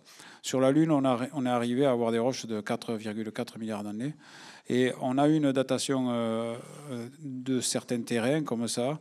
En plus, il y a une technique avec, euh, selon l'endroit où on prend la roche et le nombre de cratères qu'il y a autour, euh, on arrive à reconstituer toute la chronologie de l'ensemble de la Lune. Euh, on peut extrapoler ça à Mars, à d'autres euh, éléments du système solaire. Donc c'est comme ça qu'on a bâti, si vous voulez, la chronologie de la formation des planètes et de la Terre. Et après aussi, on a appris aussi l'histoire géologique de la Lune. Savoir que ça a été un corps qui s'est assemblé, qui a euh, fusionné au sens où les roches ont fondu parce qu'il y avait de la chaleur, comme sur Terre, bien que ce soit un corps euh, beaucoup moins massif que la Terre donc qu'on appelle différencié, avec les éléments lourds qui vont au centre, les éléments légers qui flottent, qui font une espèce de mousse, cette fameuse anorthosite dont j'ai parlé, c'est en gros c'est la mousse rocheuse qui reste en surface. Euh, on, sait maintenant qu'il y a eu des épisodes volcaniques, on sait qu'il y a eu des gros impacts, il y a eu ces épanchements de lave qui ont été euh, les mers lunaires. Il y a aussi euh, des mystères qui restent encore. On ne sait pas pourquoi la face cachée et la face visible sont si différentes. Ça, malgré tout, on ne le sait pas encore. On sait que leur épaisseur n'est pas la même, la croûte, etc. Mais on ne sait pas trop pourquoi.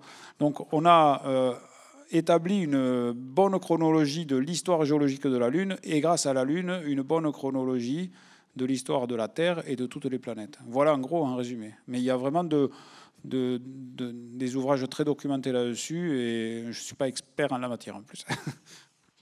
Euh, oui, on vous donne le micro si tu veux Thomas, merci. Oui, dans, le même sens, est-ce qu'on on est arrivé à, à dater les volcans et est-ce que certains euh, pourraient encore être actifs aujourd'hui? Sur la Lune? Oui. Alors sur la Lune, il y a quelques... Alors c'est pas des volcans au sens où on voit euh, sur Terre euh, l'Etna ou le mont Fuji, ça, ça n'existe pas sur la Lune. Donc il y a un volcanisme qui est souvent un volcanisme d'épanchement, c'est des espèces de failles qui, qui font qu'en fait, après, on a une, vaste étendue. Il y a quelques dômes volcaniques, c'est en gros, c'est des petites collines avec un petit trou au milieu, c'est des petits volcans. Ça, c'est du volcanisme très tardif, c'est-à-dire c'est des dernières remontées de, de lave qui doivent dater de 1 milliard d'années, quelque chose comme ça. Il y a eu des études récentes qui ont été menées grâce à une sonde japonaise qui s'appelle Kaguya, euh, qui a cartographié la Lune et qui a permis de faire de la spectro euh, et de, voir un peu les, compositions et qui ont permis justement de trouver qu'il y avait un petit volcanisme résiduel, mais c'était dû à des, poches magmatiques qui étaient en train de, finir de se, refroidir. Et euh, la Lune, elle a eu un volcanisme, mais qui ne ressemble pas au volcanisme terrestre, au sens où ce n'est pas, pas des volcans comme, comme on connaît sur Terre. Et, c'est fini. Alors, a priori, oui. C'est-à-dire que si, le seul volcanisme qui peut rester sur la Lune, c'est peut-être des poches de gaz encore emprisonnées qui, à la faveur de tremblements de Lune qui peuvent être causés par les marées, puisque la Lune induit les marées sur Terre, on les voit bien, Mais la Terre induit encore plus de marée sur la Lune. Sauf que sur la Lune, comme il n'y a pas d'océan, euh, ça ne se voit pas. C'est une croûte très rigide qui est déformée. Alors, de temps en temps, ça craque un petit peu. Et donc, il y a des petits séismes comme ça, où il peut y avoir des impacts qui libèrent des poches euh, résiduelles comme ça, mais ce n'est pas un volcanisme actif, c'est quelque chose de... Vraiment, euh, c'est les, derniers, les dernières poches qui sont là et qui vont avoir des, des espèces d'exhalaisons. Il y a quelques endroits sur la Lune. Il y a, il y a par exemple une, espèce de dépression qu'on croyait être un cratère qui s'appelle INA, comme, comme, comme l'INA, vous savez. L'Institut national de l'audiovisuel. mais ce n'est pas, pas un, acronyme, là, c'est son nom, INA, euh, qui mesure euh, un kilomètre de diamètre à peu près, qui est très bizarre, et où vous avez un sol qui est totalement chahuté et qui a l'air très récent euh, géologiquement. Alors les, les géologues se, se, pouillent en ce moment pour savoir si oui, il est récent, mais non, il n'est pas si récent. Ils se en fait, Oui. Ah, c'est joli cette expression. ils se disputent pour euh, savoir euh, quel est l'âge de cette formation. Ce serait par exemple intéressant d'envoyer une sonde ou des astronautes creuser à cet endroit. Et certains évoquent la possibilité que à des échelles de temps géologiques euh, récentes, donc pas euh, il y a 100 ans ou pas il y a, il y a 1000 ans, mais peut-être un peu plus, euh, il y a des poches de gaz qui à cet endroit ressortent et viennent chahuter la surface et lui donner cet aspect très jeune. Mais c'est tout. la Lune, elle est, elle est quand même morte. Hein. Encore une question Oui.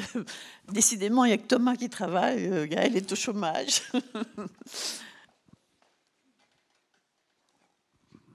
Merci, bonsoir. Euh, pourquoi la NASA a choisi de former des militaires et euh, principalement des pilotes d'essai à des métiers scientifiques comme la géologie et l'astronomie, au lieu d'envoyer des équipages composés euh, d'un pilote pour le poste de, du coup de pilote et de deux scientifiques, de métiers? Alors aujourd'hui, ça se passerait comme vous le dites? Et ça se passe comme ça, c'est-à-dire que vous avez des astronautes qui sont des pilotes, il en faut pour conduire la, voiture. Euh, il y a des spécialistes de mission qui sont plutôt des scientifiques, qui ont évidemment des notions de pilotage. Donc ça se passe comme ça aujourd'hui, mais il faut se replacer dans le contexte de l'époque. Aujourd'hui, tout ça est à peu près bien cadré. On sait euh, très bien comment fonctionnent les vaisseaux spatiaux, on les connaît bien, euh, on sait les effets, on sait comment euh, y remédier, à certains problèmes. À l'époque, on découvre tout, on part de rien. Et la NASA ne veut à bord que des gens capables d'avoir les réflexes, de pallier au manque de l'un d'eux. Si le commandant a un problème, il faut que l'autre soit capable de piloter aussi bien que lui.